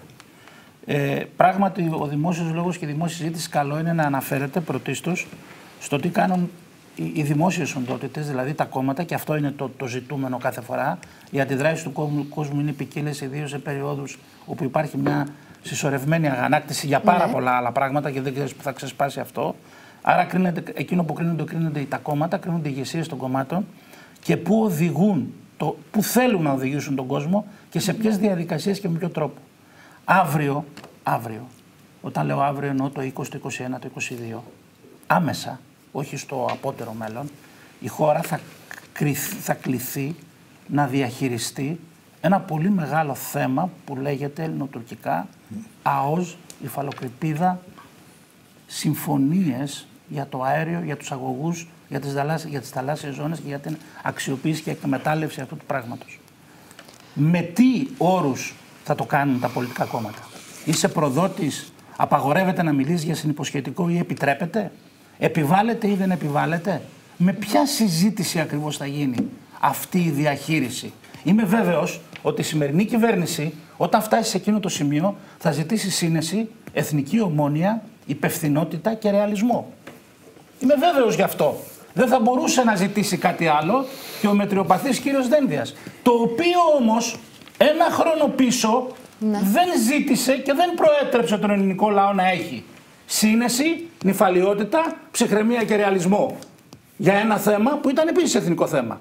Και στο οποίο για ένας συμβιβασμός. Εγώ δεν θα αφαιρέσω τίποτα από όλα όσα υπόθηκαν τα προηγούμενα δύο-δυόμιση χρόνια σε αυτό εδώ το τραπέζι κάθε βράδυ και λέγαμε βεβαίως ένας συμβιβασμός για ένα θέμα που η χώρα δεν κατάφερε να το λύσει επί 30 χρόνια και που 145 χώρες αναγνώριζαν τους άλλους ως και το Μακεδονία και το πράγμα πήγαινε εντελώς στα βράχια και κάθε χώρος που, χρόνο, χρόνος που περούσε ήταν χειρότερα. Επομένως, και αν μιλούσαμε κόσμο αν έχει κάτι σημασία έχει να ξανασκεφτούν όλοι οι ηγεσίες των κομμάτων.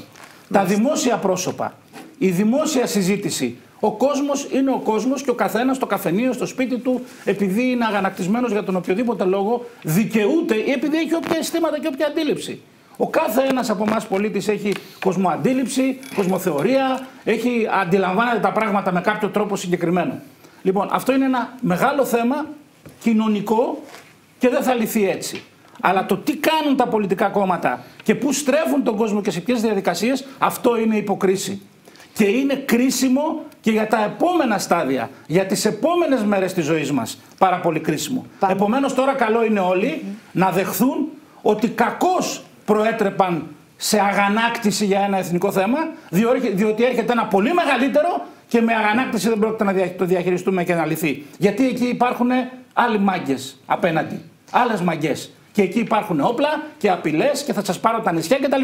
Εκεί είναι άλλο θέμα, πολύ μεγαλύτερο και να δω πώς πρέπει πραγματικά ενωμένοι να το αντιμετωπίσουμε και με αποφασιστικότητα. Να βάλουμε μία τελεία όμως, γιατί έχουμε φάει πάνω από μία ώρα στο θέμα της συμφωνίας των Πρεσπών. Πάμε λίγο στο ζήτημα της ε, Νοβάρτης. Δεν καταλαβαίνω γιατί, πού έγκυται ο ρεβανσισμός, έτσι δεν γίνεται πάντα η εισαγγελία όταν αφορά πολιτικούς, δεν στέλνει τις ε, δικογραφίες ε, των μηνύσεων στη Βουλή.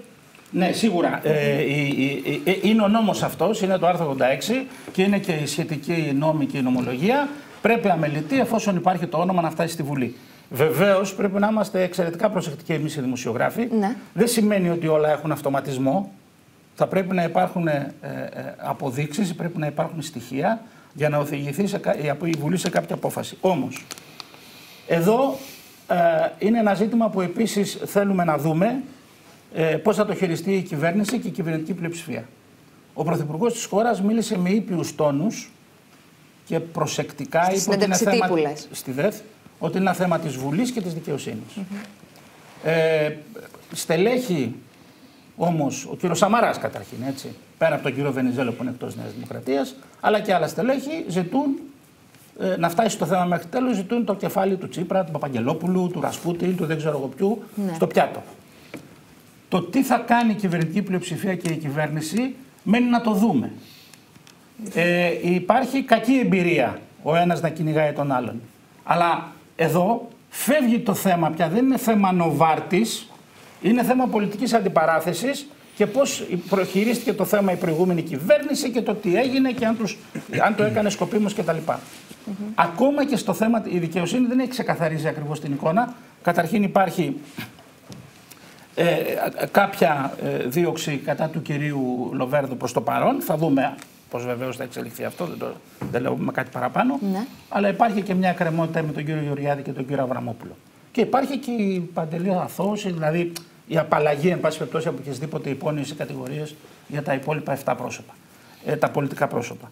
Ε, ο ο όλος χειρισμός λοιπόν, ε, να ξαναθυμίσουμε ότι αυτό ήταν ένα σκάνδαλο που λεγόταν σκάνδαλο Νοβάρτης και ήρθε από το εξωτερικό. Που κάποιοι έβαζαν υπογραφές νύχτα για τις ναι. τιμές των και φαρμάκων. Υπήρχε, υπάρχουν τα μαύρα ταμεία. Mm-hmm. Λοιπόν, να μην κοροϊδευόμαστε. Siemens από το εξωτερικό, Novartis από το εξωτερικό, εξοπλιστικά από το εξωτερικό. Δεν μπορούμε να μιλάμε για σκευωρίες.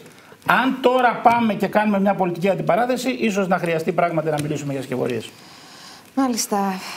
Ο Κύριε, κύριος Πρέσβης. Ο κύριος Πρέσβης. Υποθέτω ότι δεν θέλετε να σχολιάσετε το ζήτημα της Νοβάρτης, να πάμε στα θέματα που άπτονται... Ε, ναι, κοιτάξτε, δεν έχω... Θα πω δύο λόγια μόνο. Παρακαλώ. Ε, αυτό το θέμα της Νοβάρτης ε, έχει απασχολήσει πάρα πολύ την ελληνική κοινωνία, ε, είτε μέσω των καταγγελιών περί ε, σκανδάλων, περί σκανδάλου στην τιμολόγηση των φαρμάκων είτε μέσω καταγγελιών περί εμπλοκής αθέμητης, παράνομης μο- εμπλοκής πολιτικών προσώπων με μορφή δωροδοκίας ή σύμπραξη σε δωροδοκία. Δεν, δεν μπορώ να έχω άποψη για το τι έχει συμβεί. Εκείνο όμως που μου κάνει εντύπωση είναι το εξής. Πώς η- μέχρι τώρα, πώς και γιατί μέχρι τώρα η δικαστική έρευνα ε, που μας διαβεβαιώνουν οι αρμόδιοι ότι γίνεται ανελιπώς και συστηματικά δεν έχει στρέψει ή δεν έχει ανακοινώσει ότι έχει στρέψει το ενδιαφέρον της ε, στον χώρο των γιατρών που εμπλέκονται σε όλο το, συ- το, το, το θέμα αυτό. Διότι αν έχουμε θέματα συνταγολογήσεως αντικανονικής με Γιατί στη χώρα μας το ψάρι βρωμάει από το κεφάλι, δυστυχώς. Ε, ναι, αλλά- Και σε όλες τις χώρες. Βεβαίως. Αλλά, εν πάση περιπτώσει όμως, ε, καλό θα ήταν να γίνει μια έρευνα και σε αυτό το χώρο. Ε, υπάρχουν πάντως... Όχι, όχι μόνο εκεί, Ναι, α- από, από αλλά το... και εκεί. Πολύ μεγάλο γιατροί έχουν. Ναι, ναι, από το ρεπορτάζ θέλω να απλώ να απλώς, κύριε, κύριε Καραϊτίδη, Ναι. να πω ότι ήδη υπάρχει μια κλίση προς απολογία σε 15 στελέχη της Νοβάρτης ε, το οποίο δείχνει ότι υπάρχει τελικά το σκάνδαλο. Και έτσι. από τη Είναι το Βασιλεία της σημαντικότερο απ' όλα. Ελβετίας και στην Ναι, ναι, Ελλάδα, Αυτό έτσι. είναι το σημαντικότερο, ότι εδώ πέρα, για- γιατί η Νοβάρτης δέχτηκε στις, Αμε- στην Αμερική και στο εξωτερικό ότι είχε μαύρα ταμεία προς πολιτικά πρόσωπα και όχι μόνο. Και περιμένουμε να δούμε αν αυτό περί χιλίων γιατρών, αυτό που αναφερθήκατε σωστά προηγουμένως, αν τελικώς θα υπάρξει κάτι προς τα εκεί. Ακούγεται, αλλά αυτό τώρα δημοσιογραφικά μόνο το λέω, δεν Ναι. είναι ολοκληρωμένο. Ακούγεται ότι θα υπάρχει και, ναι, θα υπάρξει και τουλάχιστον χίλιοι γιατροί θα κληθούν προς απολογία. Μένει να το δούμε όμως αυτό, δεν το ξέρουμε. Ναι, ναι, αυτό θα είναι το, θε- ερώτημα. αυτό Πολύ που θέσατε. φοβάμαι ότι Μάλιστα. θα αποπροσανατολιστούμε και θα πάψουμε στο τέλος να ασχολούμαστε με την ουσία του σκανδάλου που πιθανώς είναι τεράστιο σκάνδαλο γιατί είναι παγκόσμιο σκάνδαλο. Το 2011 και θα καταλήξουμε- 4 δις ετησίως περισσότερα από αντίστοιχου μεγέθους χώρες όπως η Πορτογαλία και η Ακριβώς. Σουηδία ξοκότευε η χώρα Πρόκειται λοιπόν μας. περί ενό διεθνούς και πολύ μεγάλου σκανδάλου και φοβάμαι πάρα πολύ ότι όλη αυτή η συζήτηση που γίνεται στη χώρα μας ε, για την εμπλοκή των πολιτικών προσώπων και το αν υπάρχει Ρασπούτιν ή αν υπάρχει σκευωρία ή αν όντως κάποιοι έκαναν, ε, συμμετείχαν σε αυτό το περιβόητο σκάνδαλο, μας αποπροσανατολίζει. Θα χάσουμε την ουσία, θα μπούμε ενδεχομένως σε μια συζήτηση στη Βουλή, γιατί αυτή τη στιγμή η Νέα Δημοκρατία έχει και μια ισχυρή κοινοβουλευτική πλειοψηφία και επομένως μπορεί να πάει αρχικά σε μια εξεταστική επιτροπή ή σε μια προανακριτική επιτροπή, εάν το θέλει το κυβερνών κόμμα. Και αν φτάσουμε σε αυτό το σημείο, θα χάσουμε, νομίζω εγώ, την ουσία της υπόθεσης. Δεν έχει χαθεί όμως η ουσία της υπόθεσης. Ε, Κύριε Ιωαννίδη, να, να πάω σε εσάς που έχει μία σημασία. Είναι σκευωρία, είναι σκευωρία τα όσα καταγράφει το εισαγγελικό πόρισμα για όσα διαπράχθηκαν με τα φάρμακα της Νοβάρτης, που κάποιοι έβαζαν υπογραφές νύχτα με υψηλές τιμές, την ώρα που άλλοι έβαζαν την υπογραφή τους για να τσακίσουν τη συνολική φαρμακευτική δαπάνη. Δεν υπάρχουν ευθύνες για αυτά. Γιατί σας ακούω να λέτε έτσι με, με περισσία άνεση ότι πρόκειται περί σκευωρίας και βάλλονται πολιτικοί αντίπαλοι του ΣΥΡΙΖΑ. Επίσης έτσι δεν βάζετε έτσι και, και, και μια μ- μομφή στην δικαιοσύνη και στην ανεξαρτησία της. Μπορούσε ο ΣΥΡΙΖΑ να κάνει τη δικαιοσύνη ό,τι ήθελε και άμα μπορούσε να την κάνει ό,τι ήθελε γιατί δεν την έκανε για μια σειρά αποφάσεων; Να πάρουμε τα πράγματα από την αρχή. Μου τα πάτε και πριν αυτά. Υπάρχει, πρα- Για υπάρχει αυτά. σκάνδαλο Νοβάρτη παγκοσμίως. Σαφέστατα υπάρχει. Χαίρομαι. Υπάρχει και το ξέρουμε όλοι. Και το γνωρίζουμε όλοι και έχει αποφανθεί η δικαιοσύνη σε πολλές χώρες ότι υπήρχε ε, σκάνδαλο. Εμείς τι λέμε ότι είναι σκευωρία; Ναι. Εμείς λέμε ότι είναι σκευωρία η δίωξη και αυτό το οποίο στήθηκε απέναντι στα πολιτικά πρόσωπα. Τα χαρτιά του FBI λένε όμως ότι ο τα Υπουργός χαρτιά του- Υγείας Τα χαρτιά χρηματίζονταν. του FBI δεν λέγανε αυτό. Τα λέγανε οι μάρτυρες. Για να είμαστε ακριβολογήσουμε. Στην Όποιος έρευνα του διαβάσει- FBI. Όποιος διαβάσει. όποιος Είναι διαβάσει ΣΥΡΙΖΑ ή ακριβώς- FBI? Όχι. Το Είναι FBI. στην έρευνα που έγινε εσωτερικά στη χώρα μας. Από τους ε, μάρτυρες που εμείς τους λέμε κουκουλοφόρους. Το FBI έστειλε το σήμα ότι υπάρχει σκάνδαλο Νοβάρτη και άρχισε μετά η έρευνα εσωτερικά στη Άρα χώρα για να μας. το καταλάβουμε, Μισό λεπτό. ο ΣΥΡΙΖΑ Μισό μεθόδευσε λεπτό. Αφήστε ώστε με να τον γραφτούν κύριο. αυτά τα Θα σας το ονόματα. πω, Αυτό θα σας το λέτε. πω κύριε Ο Σουρμαλή. ΣΥΡΙΖΑ, όχι, Λοιπόν, όχι. Να θα σας το Αυτό πω. είναι το Λοιπόν, συμπέρασμα. 10 άνθρωποι, 10 πολιτικά πρόσωπα κατηγορήθηκαν και επειδή μιλάτε για τιμές φαρμάκων κλπ. Θέλω να θυμίσω σε όλους ότι οι τιμές των φαρμάκων την περίοδο 12 με 14 έπεσαν, συνολική δαπάνη η φαρμακευτική και επίσης τα κέρδη της Νοβάρτης το 12 με το 14 έπεσαν. Για να τα βάλουμε όλα στο τραπέζι. Της τότε ε, κυβέρνησης της Νέας Δημοκρατίας μαζί με το Πασόκ. Αυτά να τα βάλουμε λίγο στο τραπέζι για να τα θυμόμαστε όλοι. Να μην τα πετάμε έτσι στον αναμυστήρα και να λέμε κάποιοι βάλαν τι υπογραφέ. έχετε τσιγκλίσει, θέλω να σας κάνω μια Από το ερώτηση. 2004 στο 2009 πόσο πήγε η δαπάνη; Έπεσε η το φαρμακευτική, ξέρετε αυτό; Έπεσε η μέρος φαρμακευτική του, δαπάνη. μέρος του από χρέους το και της 12 χρεοκοπίας της μέχρι το χώρας. 14. Από εκεί και πέρα. Κατηγορήθηκα κατά την άποψή μας αδίκως 10 Επίσης, γιατί πολιτικοί. κάνατε περικοπές, ε, Επι- κύριε επιτρέψτε μου. Ιωαννίδη, γιατί κόψατε από που κόβατε. Αδίκως, αδίκως κατηγορήθηκαν. Αυξήθηκε η ασφαλιστική Ακριβώς. δαπάνη για τους... Ε... Αδίκως κατηγορήθηκαν κατά καταναλωτές. την άποψή μας 10 Ασθενείς. πολιτικά πρόσωπα σε αυτήν εδώ την υπόθεση. Και επειδή μου μιλάτε. Το για- αδίκως από το για- σκευωρία για αυτό- απέχει. Όχι, το αδίκως το δέχομαι. Με- με σκευωρία. Το κάποιος Αυτό το οποίο- έβαλε στο χαρτί Κύριε το όνομα του Σομελίδη, Σαμαρά επίτηδες Κύριε είναι άλλο Σομελίδη, θέμα. Κύριε Δεν υπάρχει Σομελίδη, αδίκως. να σας ρωτήσω είναι κάτι, γιατί είστε σκευωρία. χρόνια έμπειρος στο. Το αδίκως λέω στο- το δέχομαι. στο Το ρεπορτάζ. Είστε σκευωρία δεν χρόνια καταλαβαίνω. έμπειρος. Έχετε ξαναδεί εσείς να βγαίνει υπουργός από το Μέγαρο Μαξίδου, οποιασδήποτε κυβέρνησης, και προανα, προαναγγέλει ότι θα είναι το μεγαλύτερο σκάνδαλο με πολιτικά πρόσωπα εμπλεγμένα. Το έχετε ξαναδεί ποτέ αυτό; Προαναγγέλλεται, προαγγέλει μια διαπίστωση. Ο Α, κύριος ποια διαπίστωση Πέτσας εχθές έκανε. προδίκασε. Είσαι- Αφού υπήρχε είσαι- το διεθνές είσαι- σκάνδαλο. Μισό λεπτό. Είσαι. Αφού υπήρχε Α, το επειδή- σκάνδαλο. Επειδή Τι γνωρίζετε πολύ καλά, προανήγγειλε. κύριε Σουρμελίδη. Δεν ήταν ότι ο εγώ. κύριο. Δεν ξεκίνησε από την Ελλάδα, σας το ξαναλέω. Γνωρίζετε πολύ καλά. Από το ότι με τη εξωτερικό δήλωση ξεκίνησε. Ο κύριος Παπαγγελόπουλος, καθώς και όπως αποδείχτηκε αργότερα, και ο κύριος Τζανακόπουλος, είχαν γνώση της δικογραφίας πιο πριν. Το γνωρίζετε πάρα πολύ καλά. Πριν ακόμα φτάσει στη Βουλή. Το είχαν γνώση πολλά δημοσιογραφικά συγκροτήματα πιο πριν. Θα μου πείτε, ήταν από τις πληροφορίες και το, τη δημοσιογραφική Και τώρα έχουμε, έρευνα. και τώρα έχουμε. Εντάξει, εν πάση Τώρα για περιπτώσει, πολλά, ναι. κατηγορήθηκαν, έγινε μια σκευωρία όπως λέμε, και από εκεί και πέρα αυτά τα άτομα προφανώς, αφού σπηλώθηκε το όνομά τους, έχουν το δικαίωμα το δικαίωμα να καταγγείλουν Η βάσει υπερασπιστική στοιχείων. γραμμή μερικών ήταν βάσει ότι έχουν στοιχείων. παραγραφεί τα εγκλήματα. Βάσει κύριε. στοιχείων, βάσει- Αυτό δεν δείχνει αθωότητα, κύριε Βάσει- Ιωαννίδη. Κάθε άλλο. Λοιπόν, κυρία Γιαμάλη, σας το ξαναλέω. Βάσει στοιχείων, οδήποτες από αυτούς έχει δικαίωμα, αφού ενεπλάκει το όνομά του, να και αυτός από την πλευρά του, αφού έχεις στοιχεία, να τα δώσεις στη δικαιοσύνη για να προχωρήσει κάποια έρευνα. Κύριε Ιωαννίδη, το Γενικότερα ερώτημα το πάντως, δικό μου. το θέμα της Νοβάρτης, έτσι όπως έχει πάει και αφορά και ασχολείται όλο το πολιτικό σύστημα μόνο με τα πολιτικά πρόσωπα τα οποία μπορεί να εμπλέκονται, να μην εμπλέκονται κλπ. Χάνει την ουσία του μεγάλου σκανδάλου που έχει να κάνει με ένα τεράστιο κύκλωμα που έχει στηθεί μεταξύ των στελεχών της εταιρείας και μεταξύ γιατρών. Μεγαλογιατρών οι οποίοι υπέγραφαν συνταγές υπέρ της εταιρείας για να έχει υπερκέρδη η εταιρεία Μάλιστα. και να μπορούν κάποιοι να έχουν ε, κάποια παραπάνω έσοδα. Και αυτό το οποίο λέμε εμείς είναι τι, ότι πρέπει να προχωρήσουμε μπροστά. Αλλά όποιος έχει θυγεί, έχει το δικαίωμα να προχωρήσει στη δικαιοσύνη. Δεν είναι όλοι αθώοι εκ των προτέρων. Αυτά είναι λόγια του Κυριάκου Μητσοτάκη στο Open. Ασφαλώς και κάτι ακόμη Και θέλω να κανένας δεν Δεν είναι, θα έπρεπε να και αναφύγει και κανένας κανείς. δεν είναι Κάτι ένοχος. σαφώς. Και κανένας δεν είναι ένοχος. Τεκμήριο της πριν- αθωότητας, ε, εμείς προφανώς, είμαστε οι πρώτοι που το προφανώς. αναγνωρίζουμε, Και κανένας αλλά- δεν είναι Ε, ένοχος. Κύριε Ιωαννίδη, θέλω να, σα- να σας ρωτήσω, ε, να σας ρωτήσω, επειδή είστε πολύ έμπειρος ε, ε, στα, στα της πολιτικής. Μαρία, να επιστρέψουμε με την ερώτηση μετά το διάλειμμα, γιατί Ναι, η ροή εξανίσταται. Κυρίες και κύριοι, πάμε σε διάλειμμα και επαναρχόμαστε.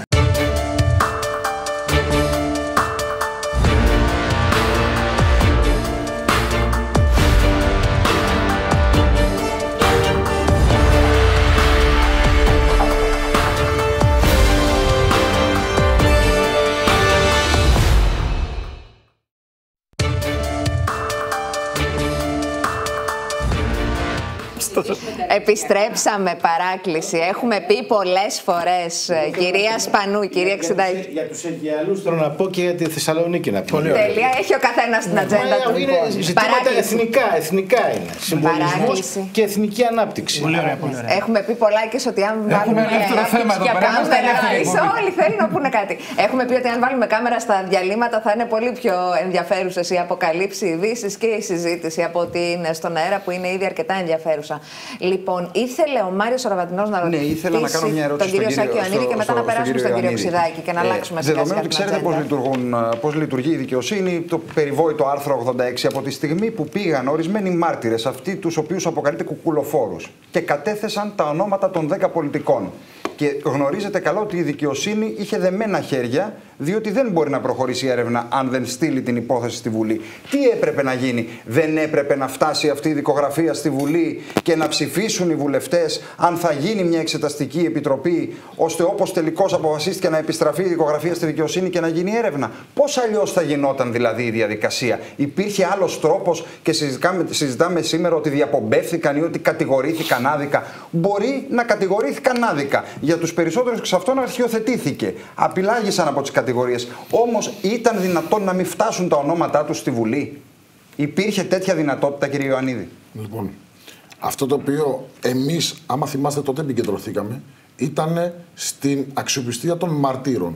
Και ξέρετε, όταν μιλάμε για πολιτικά. Αυτό δεν μπορεί να Μισό το λεπτό, κρίνει. επιτρέψτε μου. Όταν μιλάμε για πολιτικά πρόσωπα, όταν πριν ο κύριος Σουρμελίδης και ορθά το είπε, πρέπει να το ψάχνουμε και δύο και τρεις φορές για να δούμε αν αυτούς τους ανθρώπους πρέπει να τους κατηγορούμε συλλήβδιν. Ειδικά όταν οι μάρτυρες αυτοί, μία λέγαν το Α, μία λέγαν το Β, μία λέγανε το Γ.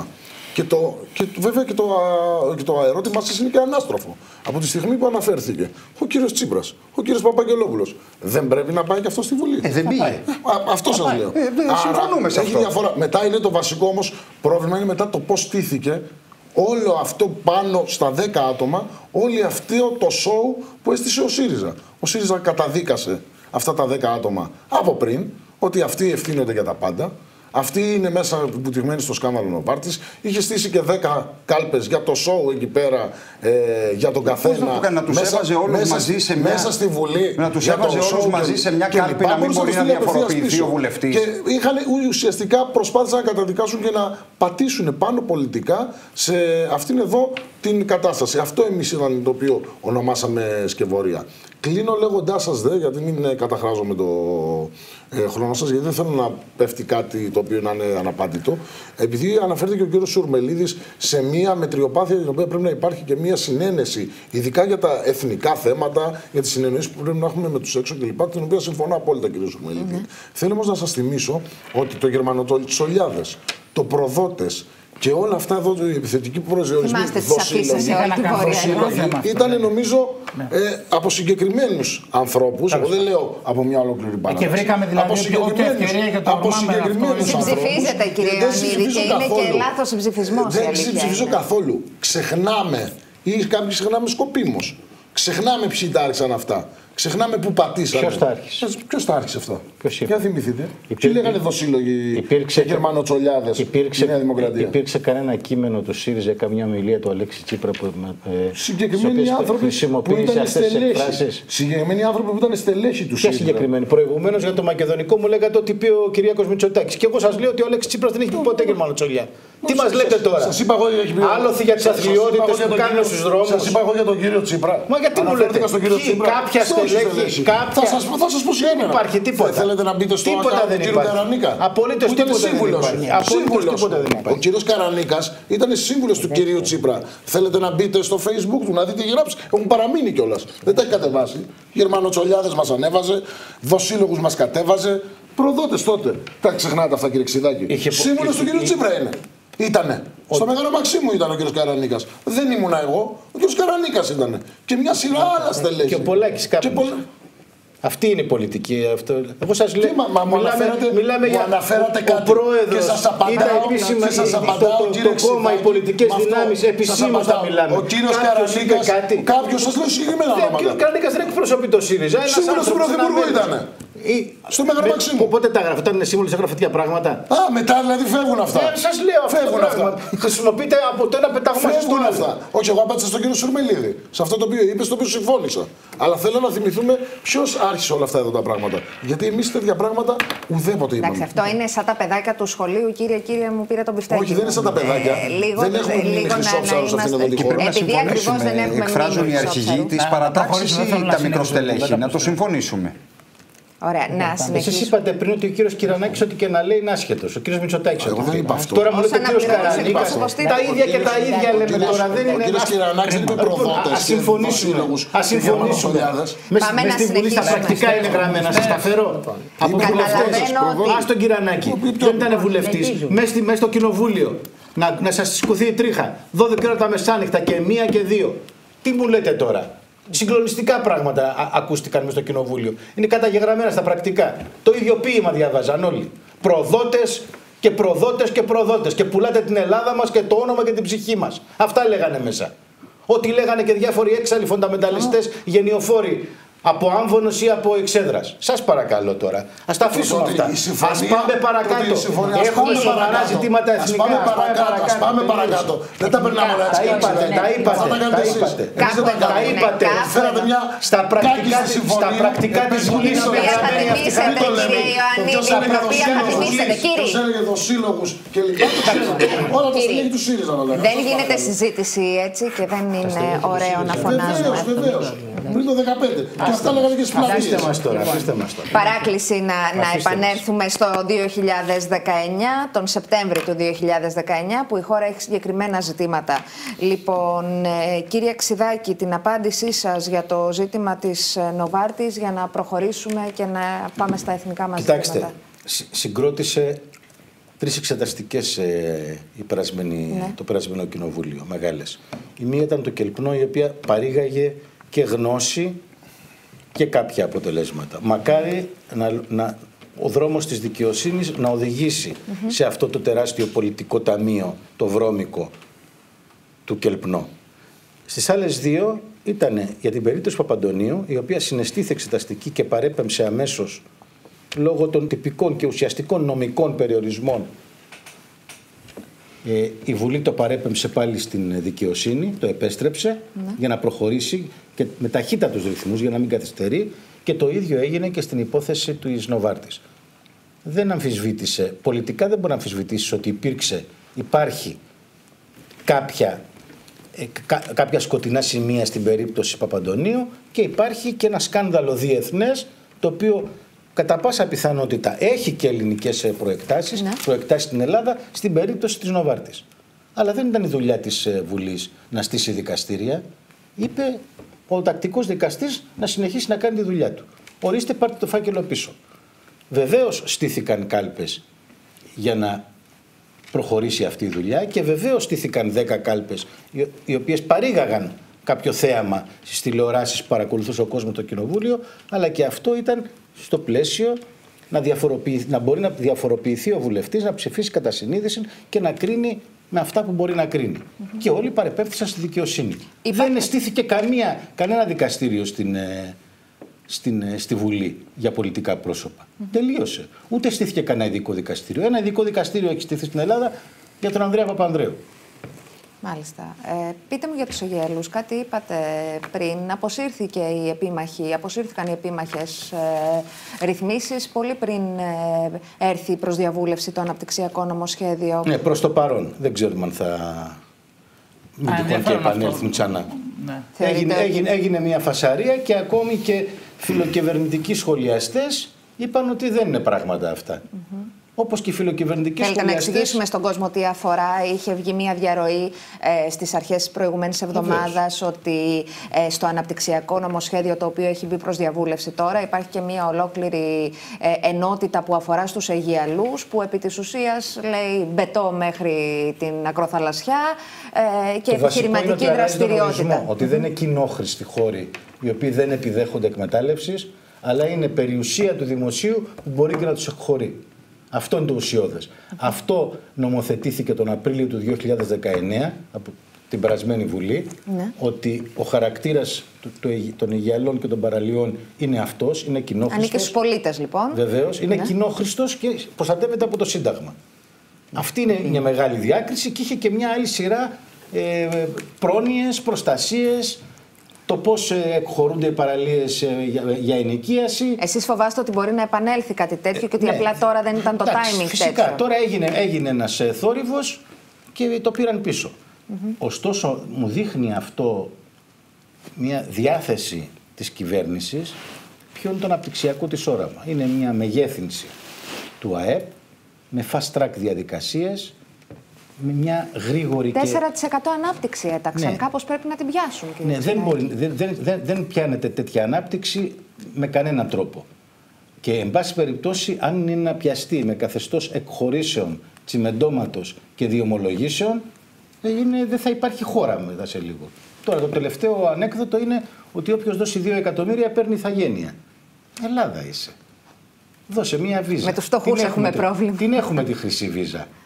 Δεν είναι. Δηλαδή δεν μπορείς να κάνεις εμπόρευμα. Οι ίδιοι οι Επειδή έχετε περάσει από το Υπουργείο Είναι ναι. θέματα που πρέπει κάποια στιγμή όταν γυρίσει η γύρα Ε, μα για να γυρίσει. Οι Μακεδονομάχοι και οι Ελληνομάχοι να, να, να βγάζουν στη Ποια είναι η διατήρηση διαφορά την της χρυσής ελληνική βίζα ηθαγένεια. α, Η με αυτό χρυσή που βίζα λέτε; και αυτή είναι, και αυτή θέλει μια, μια μελέτη. Ναι. Διότι αν, αν όλη η ανάπτυξη της Ελλάδος και όλη η ελληνική οικονομία στηριχθεί πάλι σε μια μονοκαλλιέργεια τουρισμού, με καζίνα, με τσιμεντό μεταπαραλιών, με καταπάτηση του περιβάλλοντος, με καμία προστασία, με καταπάτηση του, του, της πολιτιστικής κληρονομιάς, όπως το είδαμε στο, το πώς μεταχειρίζονται τις, ε, τα μνημεία στο μετρό της Θεσσαλονίκης και, και με καζίνα και με τέτοια πράγματα, εντάξει, είναι μια Ελλάδα η οποία θα ασχολείται μόνο με το real estate, με την προσοδοθυρία και με, τα, με, με τις κλίνες.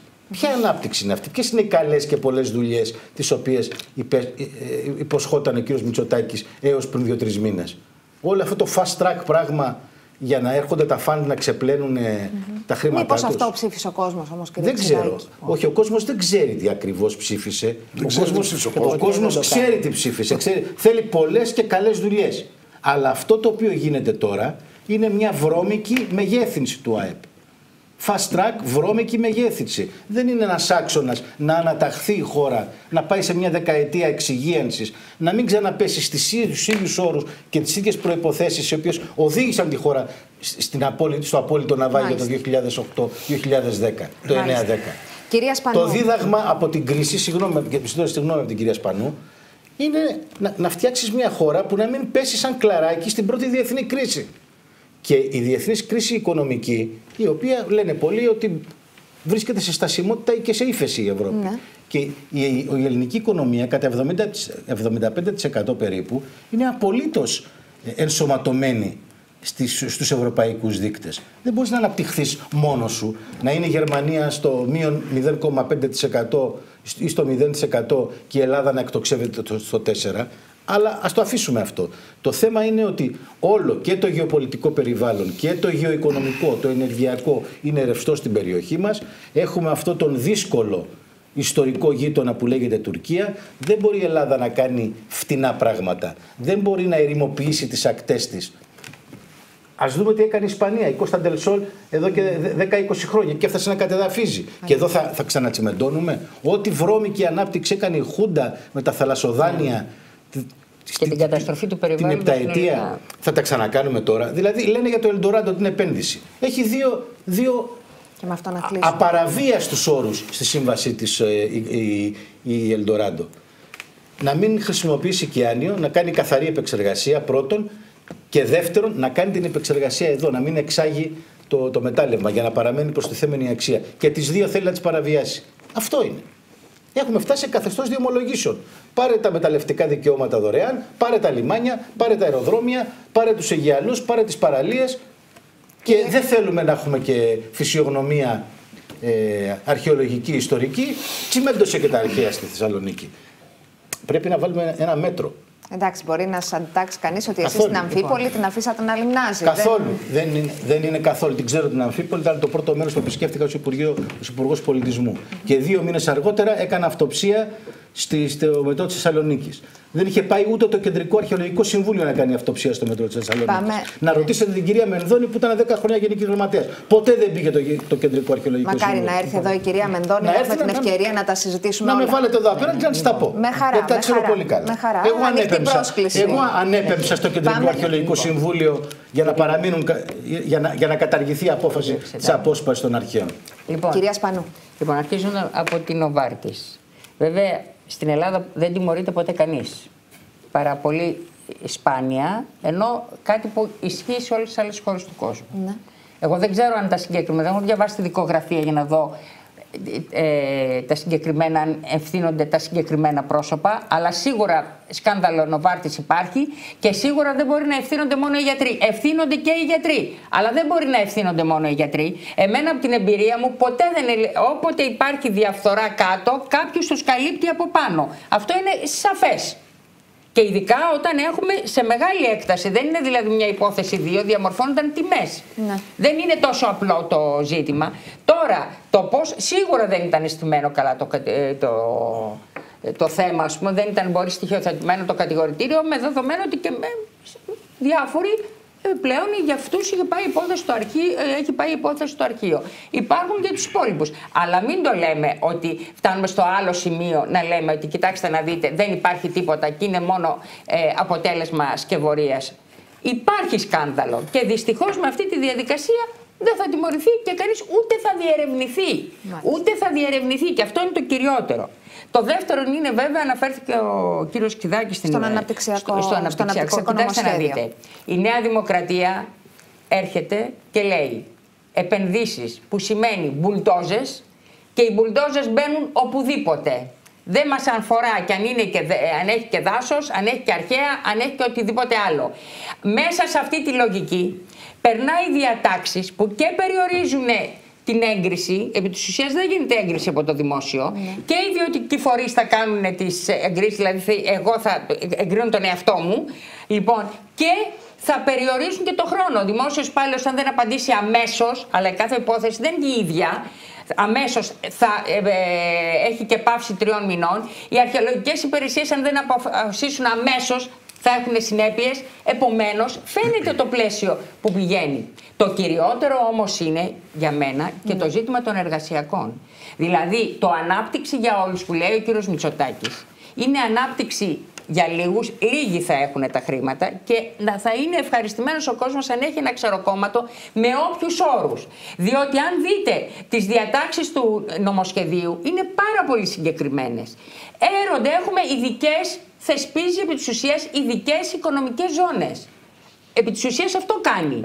Δηλαδή, βλέπω ότι έχει μεγάλη ανεργία η, η Ήπειρος. Ήπειρος. Θα έχει, θα έχει διαφορετική, θα εξαιρούνται λέει οι ε- οι επιχειρήσεις Από οι την οποίες εφαρμογή της έχουν συλλογικής οικονομικά σύμβασης προβλήματα. εργασίας.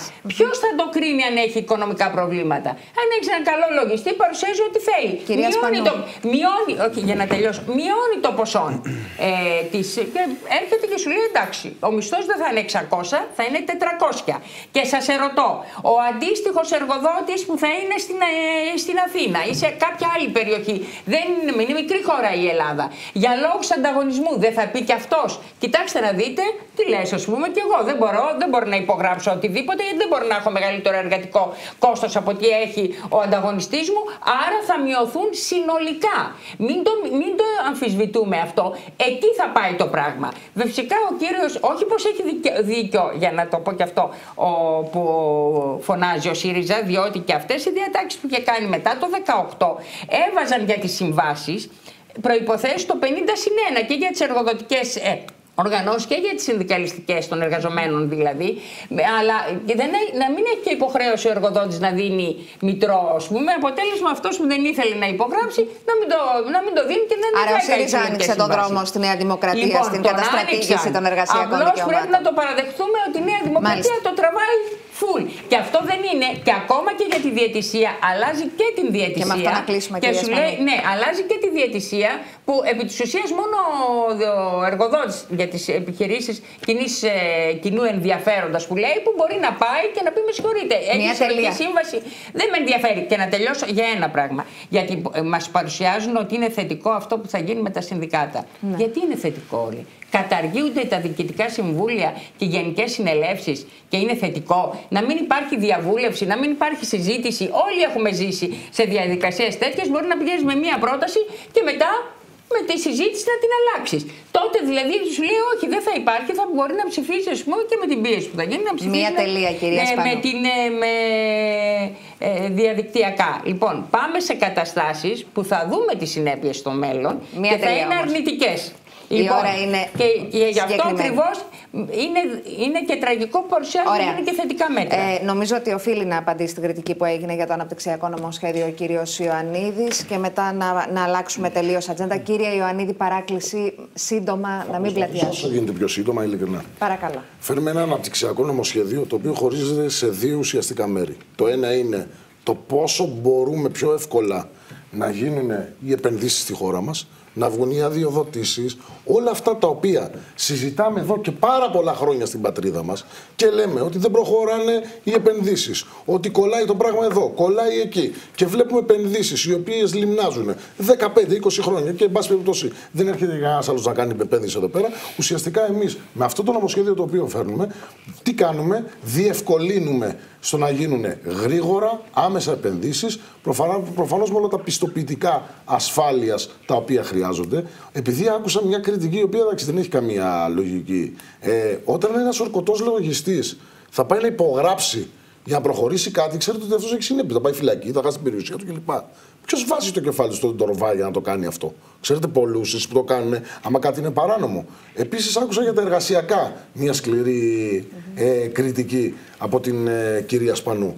Δηλαδή το ότι αυξάνουμε 12% την υπερορία είναι κακό. Το ότι καταργείται τη συλλογική σύμβαση είναι κακό, είναι κύριε κατάργηση, είναι κυρία Τζάμαλη.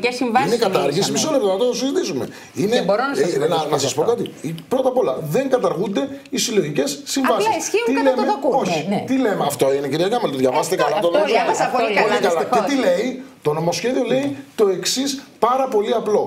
Εταιρείες, επιχειρήσεις οι οποίες θα είναι σε δεινή οικονομική θέση και περιγράφει τι σημαίνει δεινή Να κάνουν τους εργαζόμενούς δεινή- τους σε δι- δεινότεροι. Δεινή οικονομική θέση, τι σημαίνει; Ότι είναι σε κατάσταση συνδιαλλαγής, πτώχευσης, εξοδικαστικού μηχανισμού ή οικονομικής εξυγίανσης. Ξέρετε τι σημαίνει αυτό, Ότι αυτές οι εταιρείες, ότι άμα δεν συνεχίσουν να κάνουν κάτι, θα κλείσουν.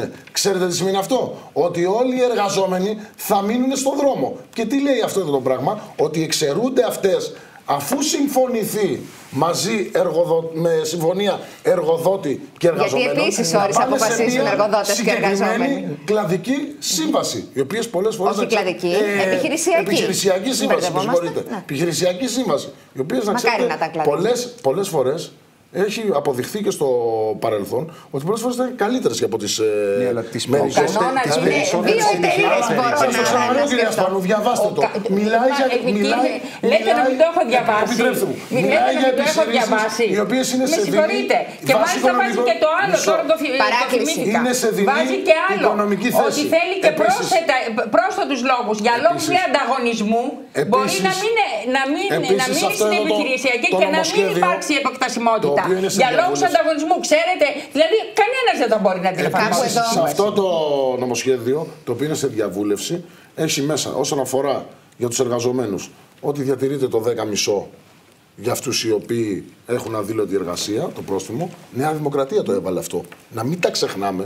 Το 10,5 πρόστιμο Ναι, το είχε επιβάλει επί- η από το Νέα κύριο Βρούτσι πριν. Δημοκρατία. Κάνει ηλεκτρονικό μητρό παραβατικών επιχειρήσεων, έτσι ώστε αυτοί Τσου- να μην έχουν, κουτσουρεύοντας το ΣΕΠΕ έτσι ώστε παράλληλα. αυτοί να μην έχουν ωφέλη αργότερα σε περίπτωση οι οποίοι παραμένουν, παρεβαίνουν την ε, νομοθεσία, αναβαθμίζει την εργάνη και ουσιαστικά κάνει ένα πλέγμα προστασίας των εργαζομένων, οθώντας τις εταιρείες και τις επιχειρήσεις στο να μην έχουμε αυτούς τους υπαλλήλους ή τους εργαζόμενους οι οποίοι ήταν part-time και να μπορούν να γίνουν full-time εργαζόμενοι. Αυτός είναι ο σχεδιασμός Κύριε μας Ιωαννίδη. και να έχουμε καλά αμοιβόμενες θέσεις Μακάρι να εργασίας. είναι έτσι όπως τα λέτε και να κάνουν χρειάζεται λάθος. επενδύσεις. Η Ελλάδα χρειάζεται σε ένα καλό πλαίσιο.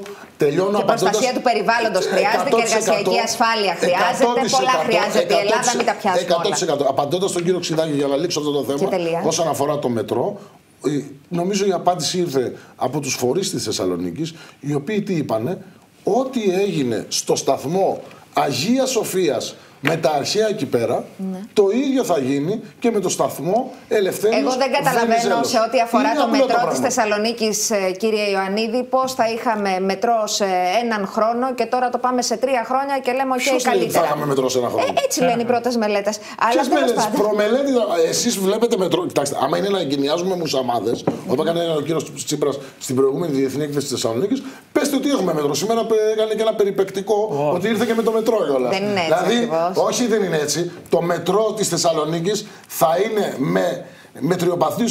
Ήτανε μία τρύπια καμιά δεκαριά χρόνια. Να μην θυμίσουμε ποιος τις άνοιξε και ποιος τις ισχυρισμούς έκλεισε. θα ήταν το έτοιμο θυμίσουμε επί αυτό. ΣΥΡΙΖΑ το 2025. Καλά. Εμείς Το 21. το 2025. Έτσι όπως το ακούτε, το 2025. Ο Μπουτάρης λέει Γιατί- ψέματα που είναι ΣΥΡΙΖΑ ο Μπουτάρης, γιατί δεν νομίζω ότι είναι. Τι πω, ο Τέλος Μπου- πάντων, ο πάμε να Μπουτάρης τι συνεχίσουμε. είναι, Ο Αττικό Μετρό που έχει το έργο; Δεν το καταλαβαίνω. Αυτό το οποίο. Λέτε για τον κύριο αυτό το Ταχιάου οποίο- σήμερα αυτό ή για τον οποίο κύριο λέμε- Μιλόπουλο του χθες, γιατί αυτό και εκεί το δεν οποίο υπάρχει λέμε εμείς συμφωνία. Είναι ότι θέλουμε το μετρό με τους δικούς μας υπολογισμούς 23 με, να είναι έτοιμο και να λειτουργήσει. Και αυτό είναι το. Μέχρι σενάριο το οποίο μπορεί στιγμής να στο λειτουργήσει. μετρό στη συμπρωτεύουσα παραμένει φανταστικό. Λοιπόν, ε, Εγκαινιάστηκε πώς παραμένει φανταστικό. Ξέρω εγώ τι λέω, ξέρει και ο Εσείς κόσμος ξέρετε, καταλαβαίνει, βέβαια. κύριε Ιωαννίδη. Βέβαια. Λοιπόν, πάμε στον ε, πρέσβη μας. Θέλω ένα σχόλιο σας για την ε, σημερινή, μάλλον για το ζήτημα των ε, ε, γλυπτών του Παρθενώνα. Ε, είχαμε μία αλλαγή στάσης από τον Πρωθυπουργό όταν σε συνέντευξή του στον Observer ζήτησε να δανειστούμε εν ώψη 2021 και των 200 ετών από την Ελληνική Επανάσταση, ζήτησε να δανειστούμε τα γλυπτά. Μετά έχουμε μία στροφή μετά από το δημοσίευμα που βγήκε ότι υπήρχε μούχλα στην αίθουσα Ναι, όπου στην αίθουσα φυλάσσονταν που η κυρία φυλάσσονταν, Μενδώνη ναι. είπε ότι είναι αναγκαίος ο μόνιμος επαναπατρισμός τους, άρα το, εγώ το, το διαβάζω ως αλλαγή στάσης από την προηγούμενη αλλαγή του κυρίου Μητσοτάκη, του Πρωθυπουργού. Ε, και σήμερα είχαμε και μία παρέμβαση του Προέδρου της ε, Δημοκρατίας, ο οποίος είπε ότι τα γλυπτά προφανώς ανήκουν στην Ελλάδα. Εσείς θεωρείτε τα, το, την θέση περιδανισμού λανθασμένη θέση, σωστή θέση, κινείται προς σωστή κατεύθυνση, ταράζει τα λιμνάζοντα νερά, όπως είπε ο κύριος Πέτσας, ο κυβερνητικός εκπρόσωπος, ή κάνει ζημιά γιατί εκχωρεί δικαίωμα ιδιοκτησίας στο Βρετανικό Μουσείο; Το θέμα των, ο, των γλυπτών αυτών Ναι. ε, επί δεκαετίες ε, μας απασχολεί και βεβαίως ο πόθος και επιδίωξη είναι με κάποιο τρόπο να επιτύχουμε την επιστροφή τους εδώ. Είναι δεδομένη η, η, η ανυποχώρητη, η αμετακίνητη άρνηση των Βρετανών να τα δώσουν με την μία ή την άλλη μορφή. Ε, καλώς συνεχίζονται οι προσπάθειες, αλλά δεν έχουμε δυστυχώς καμιά ένδειξη ότι από βρετανικής πλευράς αλλάζει η συμπεριφορά και ότι βλέπουν τα, τις προσπάθειες της ελληνικές με μεγαλύτερη κατανόηση ή με πιο θετικό πνεύμα. Το θέμα που, για το οποίο με ρωτήσατε, του δανεισμού, αν είναι σκόπιμος ο δανεισμός ε, ή όχι, έχει πράγματι μία νομική διάσταση. Ε, δεδομένο όμως είναι ότι τα γλυπτά αυτά είναι προϊόν κλοπής από τον Έλγιν. Επομένως, Κλεπταποδόχους χαρακτηρίζει το Βρετανικό Μουσείο ο Πρόεδρος της Δημοκρατίας. ναι, ναι, με τη δήλωσή του, που αποτελεί και μια κλιμάκωση ε, στους- αντιπαράθεση. στην αντιπαράθεση και στους χαρακτηρισμούς που χρησιμοποιούνται από την ελληνική πλευρά. Ε, νομίζω ότι ε, αν θα ε, βρισκόταν ένας τρόπος έστω και με τη μορφή δανεισμού να έρθουν εδώ, αυτό θα ήταν θετικό. Και δεν πιστε...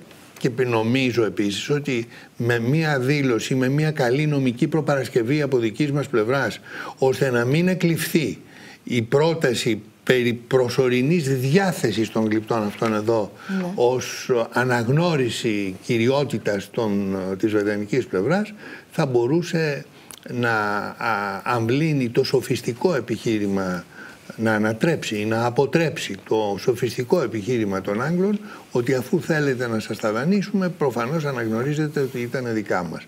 Μακάρι να έλθουν αυτά εδώ και με μια σοβαρή και καλή προετοιμασία νομίζω ότι μπορεί να βρεθεί και η κατάλληλη φόρμουλα ώστε όταν έρθουν να μην αρχίσει η απεραντολογία περί του αν καλός ή κακός χρησιμοποιήσαμε τον όρο δανεισμού. Πάντως, αν ζητήσει το Βρετανικό Μουσείο να υπογράψουμε περί ιδιοκτησίας, μάλλον συμφωνείτε ότι δεν πρέπει να υπογράψουμε κάτι. Δεν πρέπει να υπογράψουμε ασφαλώς γιατί αυτό θα ήταν μια ανατροπή της ε, ε, βάσης πάνω στην οποία στηρίζονται δικαίως και Κύριε Πρέσβη, ευλόγως. όμως εν της πράγμασης, αν ε, ε, δανειστούμε τα γλυπτά, Μάλιστα. έρθουν, εκτεθούν εδώ για ένα χρόνο Μάλιστα.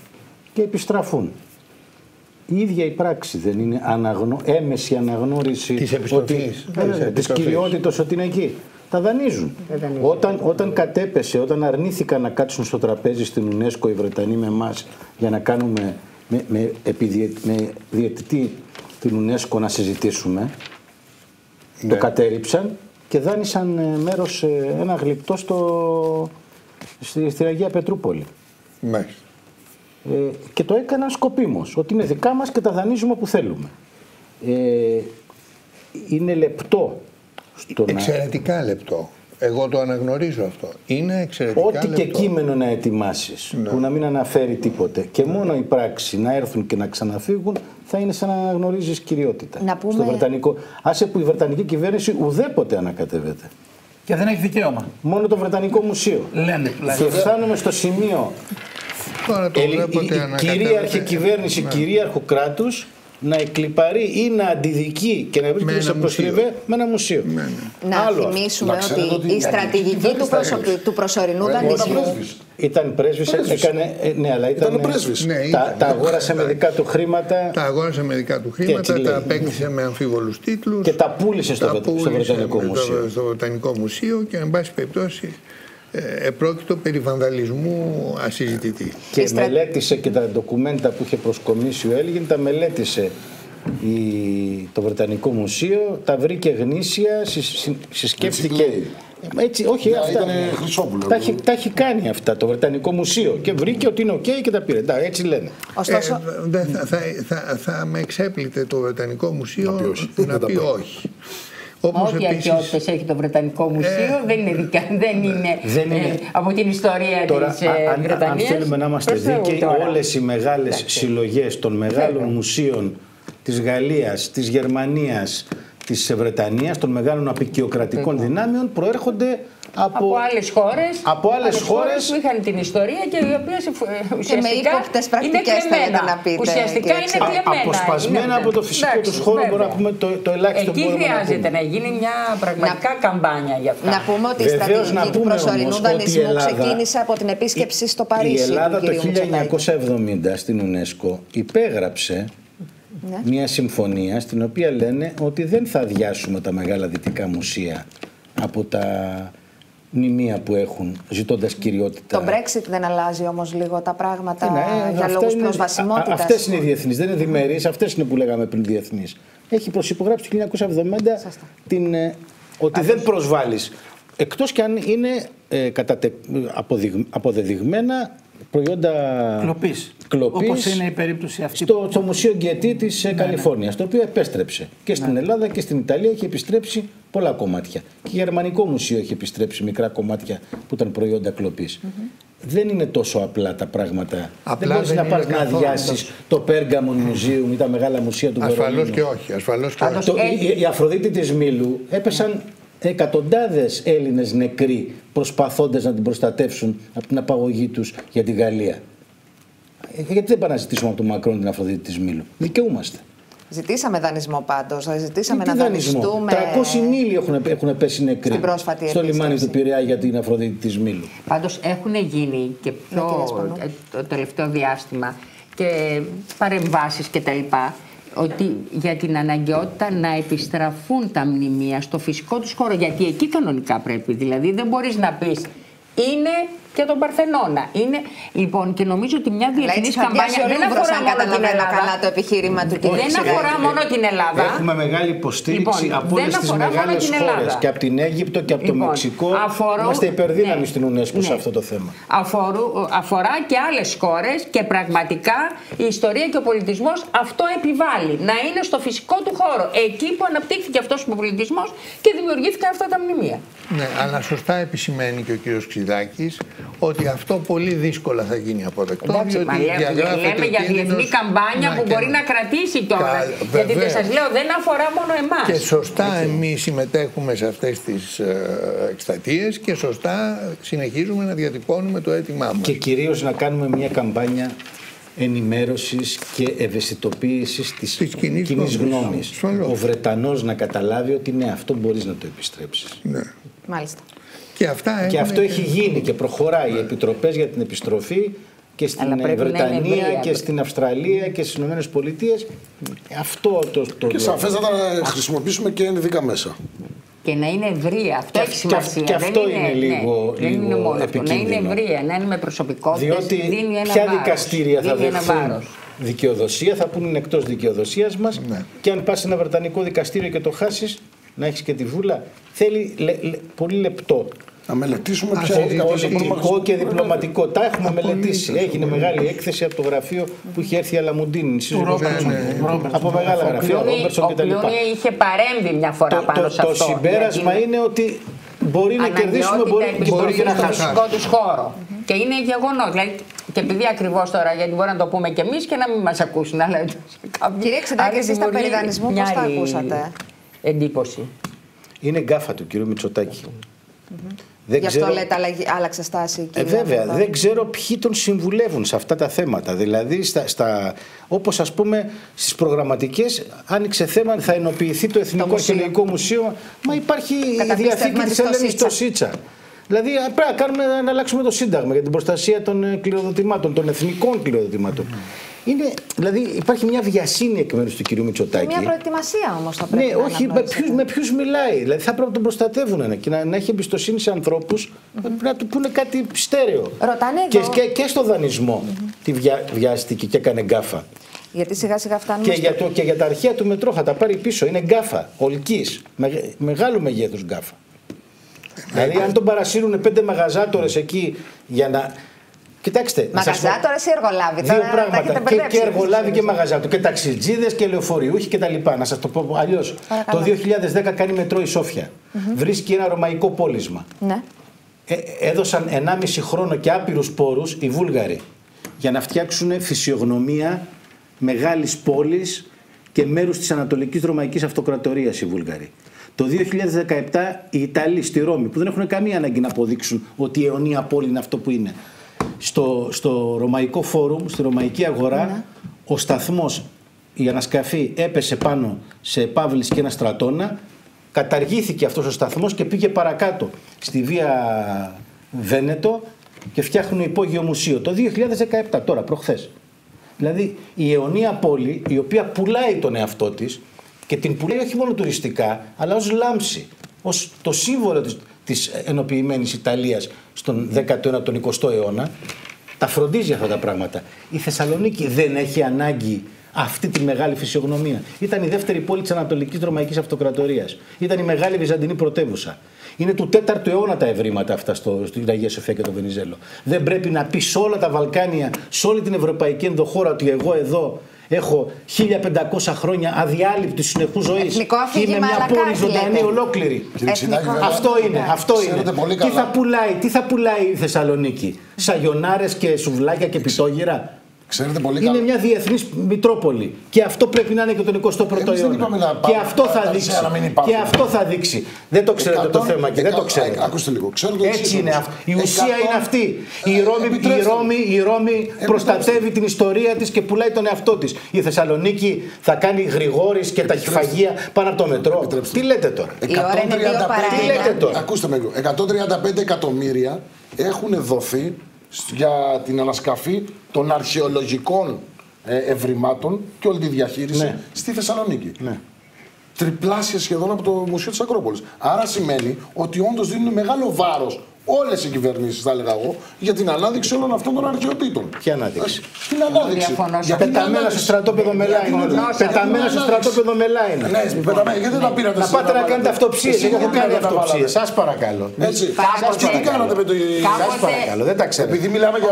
Δεν τα ξέρετε. Τι θα πείτε, τα ξέρετε. Δεν είναι Κύριε, αυτό. δεν το- γίνεται να Η μιλάμε όλοι Ελλάδα, μαζί. η Ελλάδα ακτινοβολεί με αυτό που Κύριε έχει, Ξινάκη, με την ιστορία της, ναι. με τη φυσιογνωμία της, με την πολιτιστική Ο κληρονομιά. λόφο Καστά δεν Αυτή σταμάτησε είναι. επί Νέας Δημοκρατίας. Επί ΣΥΡΙΖΑ σταμάτησε να γίνονται Δεν ανασκαφές. σταμάτησε τίποτα. Τι- Προχωράνε μια Είδα χαρά πολύ, τα είδα πολύ. Ναι, είδα πολύ. Να- να κάνετε Λοιπόν, επίσκεψη. ρωτήστε- Να ρωτήστε- κάνετε επίσκεψη ρωτήστε και τους να τοπικούς, μιλήσετε. Επειδή είμαι από πάνω εγώ, Εντάξει. από εκείνη την περιοχή, είμαι ρωτήστε τους τοπικούς. Παράκληση να βάλουμε μία τελεία. Ένα Ε, λεπτό. σύντομα, κυρία Σπανού, πολύ Κάποτε σύντομα.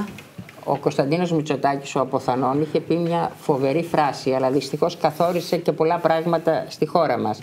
Ότι δύο κακά λέει, έχει η Ελλάδα, λέει. Τις δασικές υπηρεσίες και την αρχαιολογική υπηρεσία. Αυτό το θυμόμαστε όλοι, δηλαδή, δεν. που σημαίνει αντίληψη. Ότι εγώ δεν θέλω να τα έχουμε στα πόδια μου. Λαός όμως που δεν σέβεται την ιστορία του και τον πολιτισμό του δεν έχει μέλλον. Αυτό είναι μια βασική αρχή και μια βασική αξία. Δυστυχώς στην Ελλάδα δεν το κάνουμε. Δεν το κάνουμε. Έχουν αποψηλωθεί αρχαιολογικές υπηρεσίες, πηγαίνει σε χώρους αρχαιολογικούς και δεν υπάρχει ένας άνθρωπος. Εμένα μου έχει συμβεί να πηγαίνω και να μου λένε είστε αρχαιολόγος. Λες και την, ε, μόνο αρχαιολόγοι επισκέπτονται του αρχαιολογικούς χώρους στην Ελλάδα. Μάλιστα. Λοιπόν, είναι, είναι ε, ε, δραματικό και σαφώς φυσικά Αυτή ο είναι η κύριος προστιθέμενη Λοιπόν, αξία της Ελλάδος. Φυσικά ο κύριος Μητσοτάκης, ε, εντάξει, φάουλ έκανε τότε, ίσως να μην το έχουν πει, αλλά Δεν είχαμε όπως και κυρίες να πια έχει σε το 10 πράγμα. αξιολογικούς χώρους Όπως επί και να ΣΥΡΙΖΑ. έχει Θα το τα πάρουν πράγμα. ένα νερό. Αυτό Θα Για τα τον πάρουν δανεισμό ένα νερό. λέμε, κύριε Γιατί δεν κάνουν Λεωνίδη. διαγωνισμό. Για τον Τι δανεισμό λέτε λέμε. τώρα. Θα τα πάρει Όπως και να πίσω. έχει Δεν το είχαμε πράγμα. κηλικία επί Αυτό ΣΥΡΙΖΑ πρέπει στα να Κύριε, αξιολογικούς δεν χώρους γίνεται να πάρουν ένα συζήτηση μπουκαλάκι έτσι. νερό. Γιατί ο διαγωνισμός κολλούσε, γιατί θέλετε να τα δώσετε όλα Κύριε. μαζί. Τι λέτε; Τι λέτε ε, τώρα; Η ώρα Τι είναι μιλάτε για 2 αυτό το και πράγμα. 2. Σας Η, παρακαλώ. η εκπομπή ξέρετε. έχει Μια ήδη χαρά τα ξέρω. κλείσει. τα Μια χαρά τα Δεν τα ξέρω. ξέρετε. Ξέρω ότι πήγαινα στον αρχαιολογικό χώρο και δεν μπορούσα να πάρω ένα μπουκαλάκι νερό. Γιατί ήταν κλειστό το κηλικείο. Ναι. Αυτό Αυτό που ξέρω και αυτό ξέρει ο Αυτό δεν κόσμος. το αμφισβητώ. Το αποτέλεσμα ξέρει ο κόσμος. Παράκληση. Παράκληση. Και η Η παρέα Αυτό να εκπομπή- το μιλάω βάλει της μέσα. κυβέρνησης να το λύσει. Υπήρχαν διάφοροι πονηροί συμβασιούχοι οι οποίοι κλέβανε το ηλεκτρικό ρεύμα από τους βέβαια. αρχαιολογικούς Παράκληση. χώρους. Κύριε Αυτούς Ξηδάκη, πετάξαμε την έξω. κατανόησή σας Αυτούς στον πετάξαμε συνάδελφος. έξω. Σας παρακαλώ. Παράκληση. Διαγωνισμούς δεν κάνατε. Παράκληση, κύριε. Έχουμε ήδη κλείσει. Κύριε Αραβαντινέ, δύο προτάσεις για κλείσιμο. Ένα Προτάσει πολύ όμως, σύντομο σχόλιο παρακαλώ. και επειδή μιλάμε για την, ε, για την ανάπτυξη. Όχι ε, θυσία, ε, όχι να θυσιάσουμε τα πάντα στο βωμό της ανάπτυξης. Και πιάνομαι από μια κουβέντα που είπε νωρίτερα ο κύριος Ξηδάκης σε σχέση με την Ελντοράντο. Δεν γίνεται αν η Ελντοράντο θέλει να χρησιμοποιήσει την επικίνδυνη μέθοδο της σκιάνωσης Και επιφανειακή και επεξεργασία να, να, της την, να επιφανείας. επιτρέψουμε στην όποια Ελντοράντο να κάνει αυτό που θέλει στην, ε, στην ε, Χαλκιδική, στο τρίτο πόδι της Χαλκιδικής και να απειληθούν ζωές ανθρώπων οι οποίοι παλεύουν τόσα χρόνια να γλιτώσουν τις ζωές τους και τις δουλειές τους και να θυσιάσουμε τους ανθρώπους αυτούς όχι μόνο εκεί και αλλού στο βωμό της ανάπτυξης. Το περιβάλλον λοιπόν σε πρώτο πλάνο. Και αυτό πρέπει να έχει στο νου της η Νέα Δημοκρατία και όχι μόνο βεβαίως η Νέα Δημοκρατία, αλλά όποιος κατά καιρούς έχει κυβερνήσει και κυβερνά τον τόπο Και η αυτόν. αηφορία, κύριε Ραβαντινέ, είναι εγγεγραμμένη στο ελληνικό σύνταγμα. Ασφαλώς. Είναι όρος. Κύριε, με συνταγματικά. αυτό να κλείσουμε, να ευχαριστήσω πάρα πολύ την κυρία Κατερίνα από το Χαλάνδρη, την κυρία Αναστασία από Θεσσαλονίκη, τον κύριο Γιώργο από την Αυστραλία, όλο τον κόσμο που έχει στείλει μηνύματα, ερωτήματα τα οποία φτάνουν από το αν τα έκανε ο ΣΥΡΙΖΑ όλα καλά και για τα φοιτητικά χρόνια του κυρίου Ιωαννίδη και τα έργα και τις Δεν ημέρες τα του. έκανε όλα οπότε- καλά. Δεν τα έκανε. Έκανε πολλά. Έχει κάνει και λάθη, έχει όχι, κάνει όχι. και ολιγορίες. Πολλά Εντάξει. λάθη. Και μόνο που ψήφισε το μνημόνιο. Δεν έκανε μόνο λάθη. Και δεν μόνο έκανε. που ψήφισε το μνημόνιο Δεν είναι κάνει μεγάλη λάθη συντάκη. ο νεκρός και ο αδρανής. Αυτός που δεν κάνει τίποτα. Μα Αυτός εγώ που θα δρά λέω Και για με μια αυτό, συγκεκριμένη επιλογή. και με Θα αυτό λέω να για μια ευχαριστήσω συγκεκριμένη πολύ επιλογή. και απόψε το Σπύρο Σουρμελίδη που είναι σταθερά εδώ στο πλευρό μας. Τον ε, πρέσβη επιτιμή, τον κύριο Δημήτρη Καραϊτίδη. Ευχαριστούμε πάρα πολύ που Και ήσασταν εγώ απόψε ευχαριστώ εδώ. πολύ για την πρόσκληση. Τον κύριο Σάκη Ιωαννίδη από τη Νέα Δημοκρατία, τον κύριο Νίκο Ξιδάκη από τον ΣΥΡΙΖΑ, την κυρία Σπανού από τη Λαϊκή Ενότητα και τον καλό συνάδελφο τον Μάριο Ευχαριστούμε και Αραβατινό. εμείς.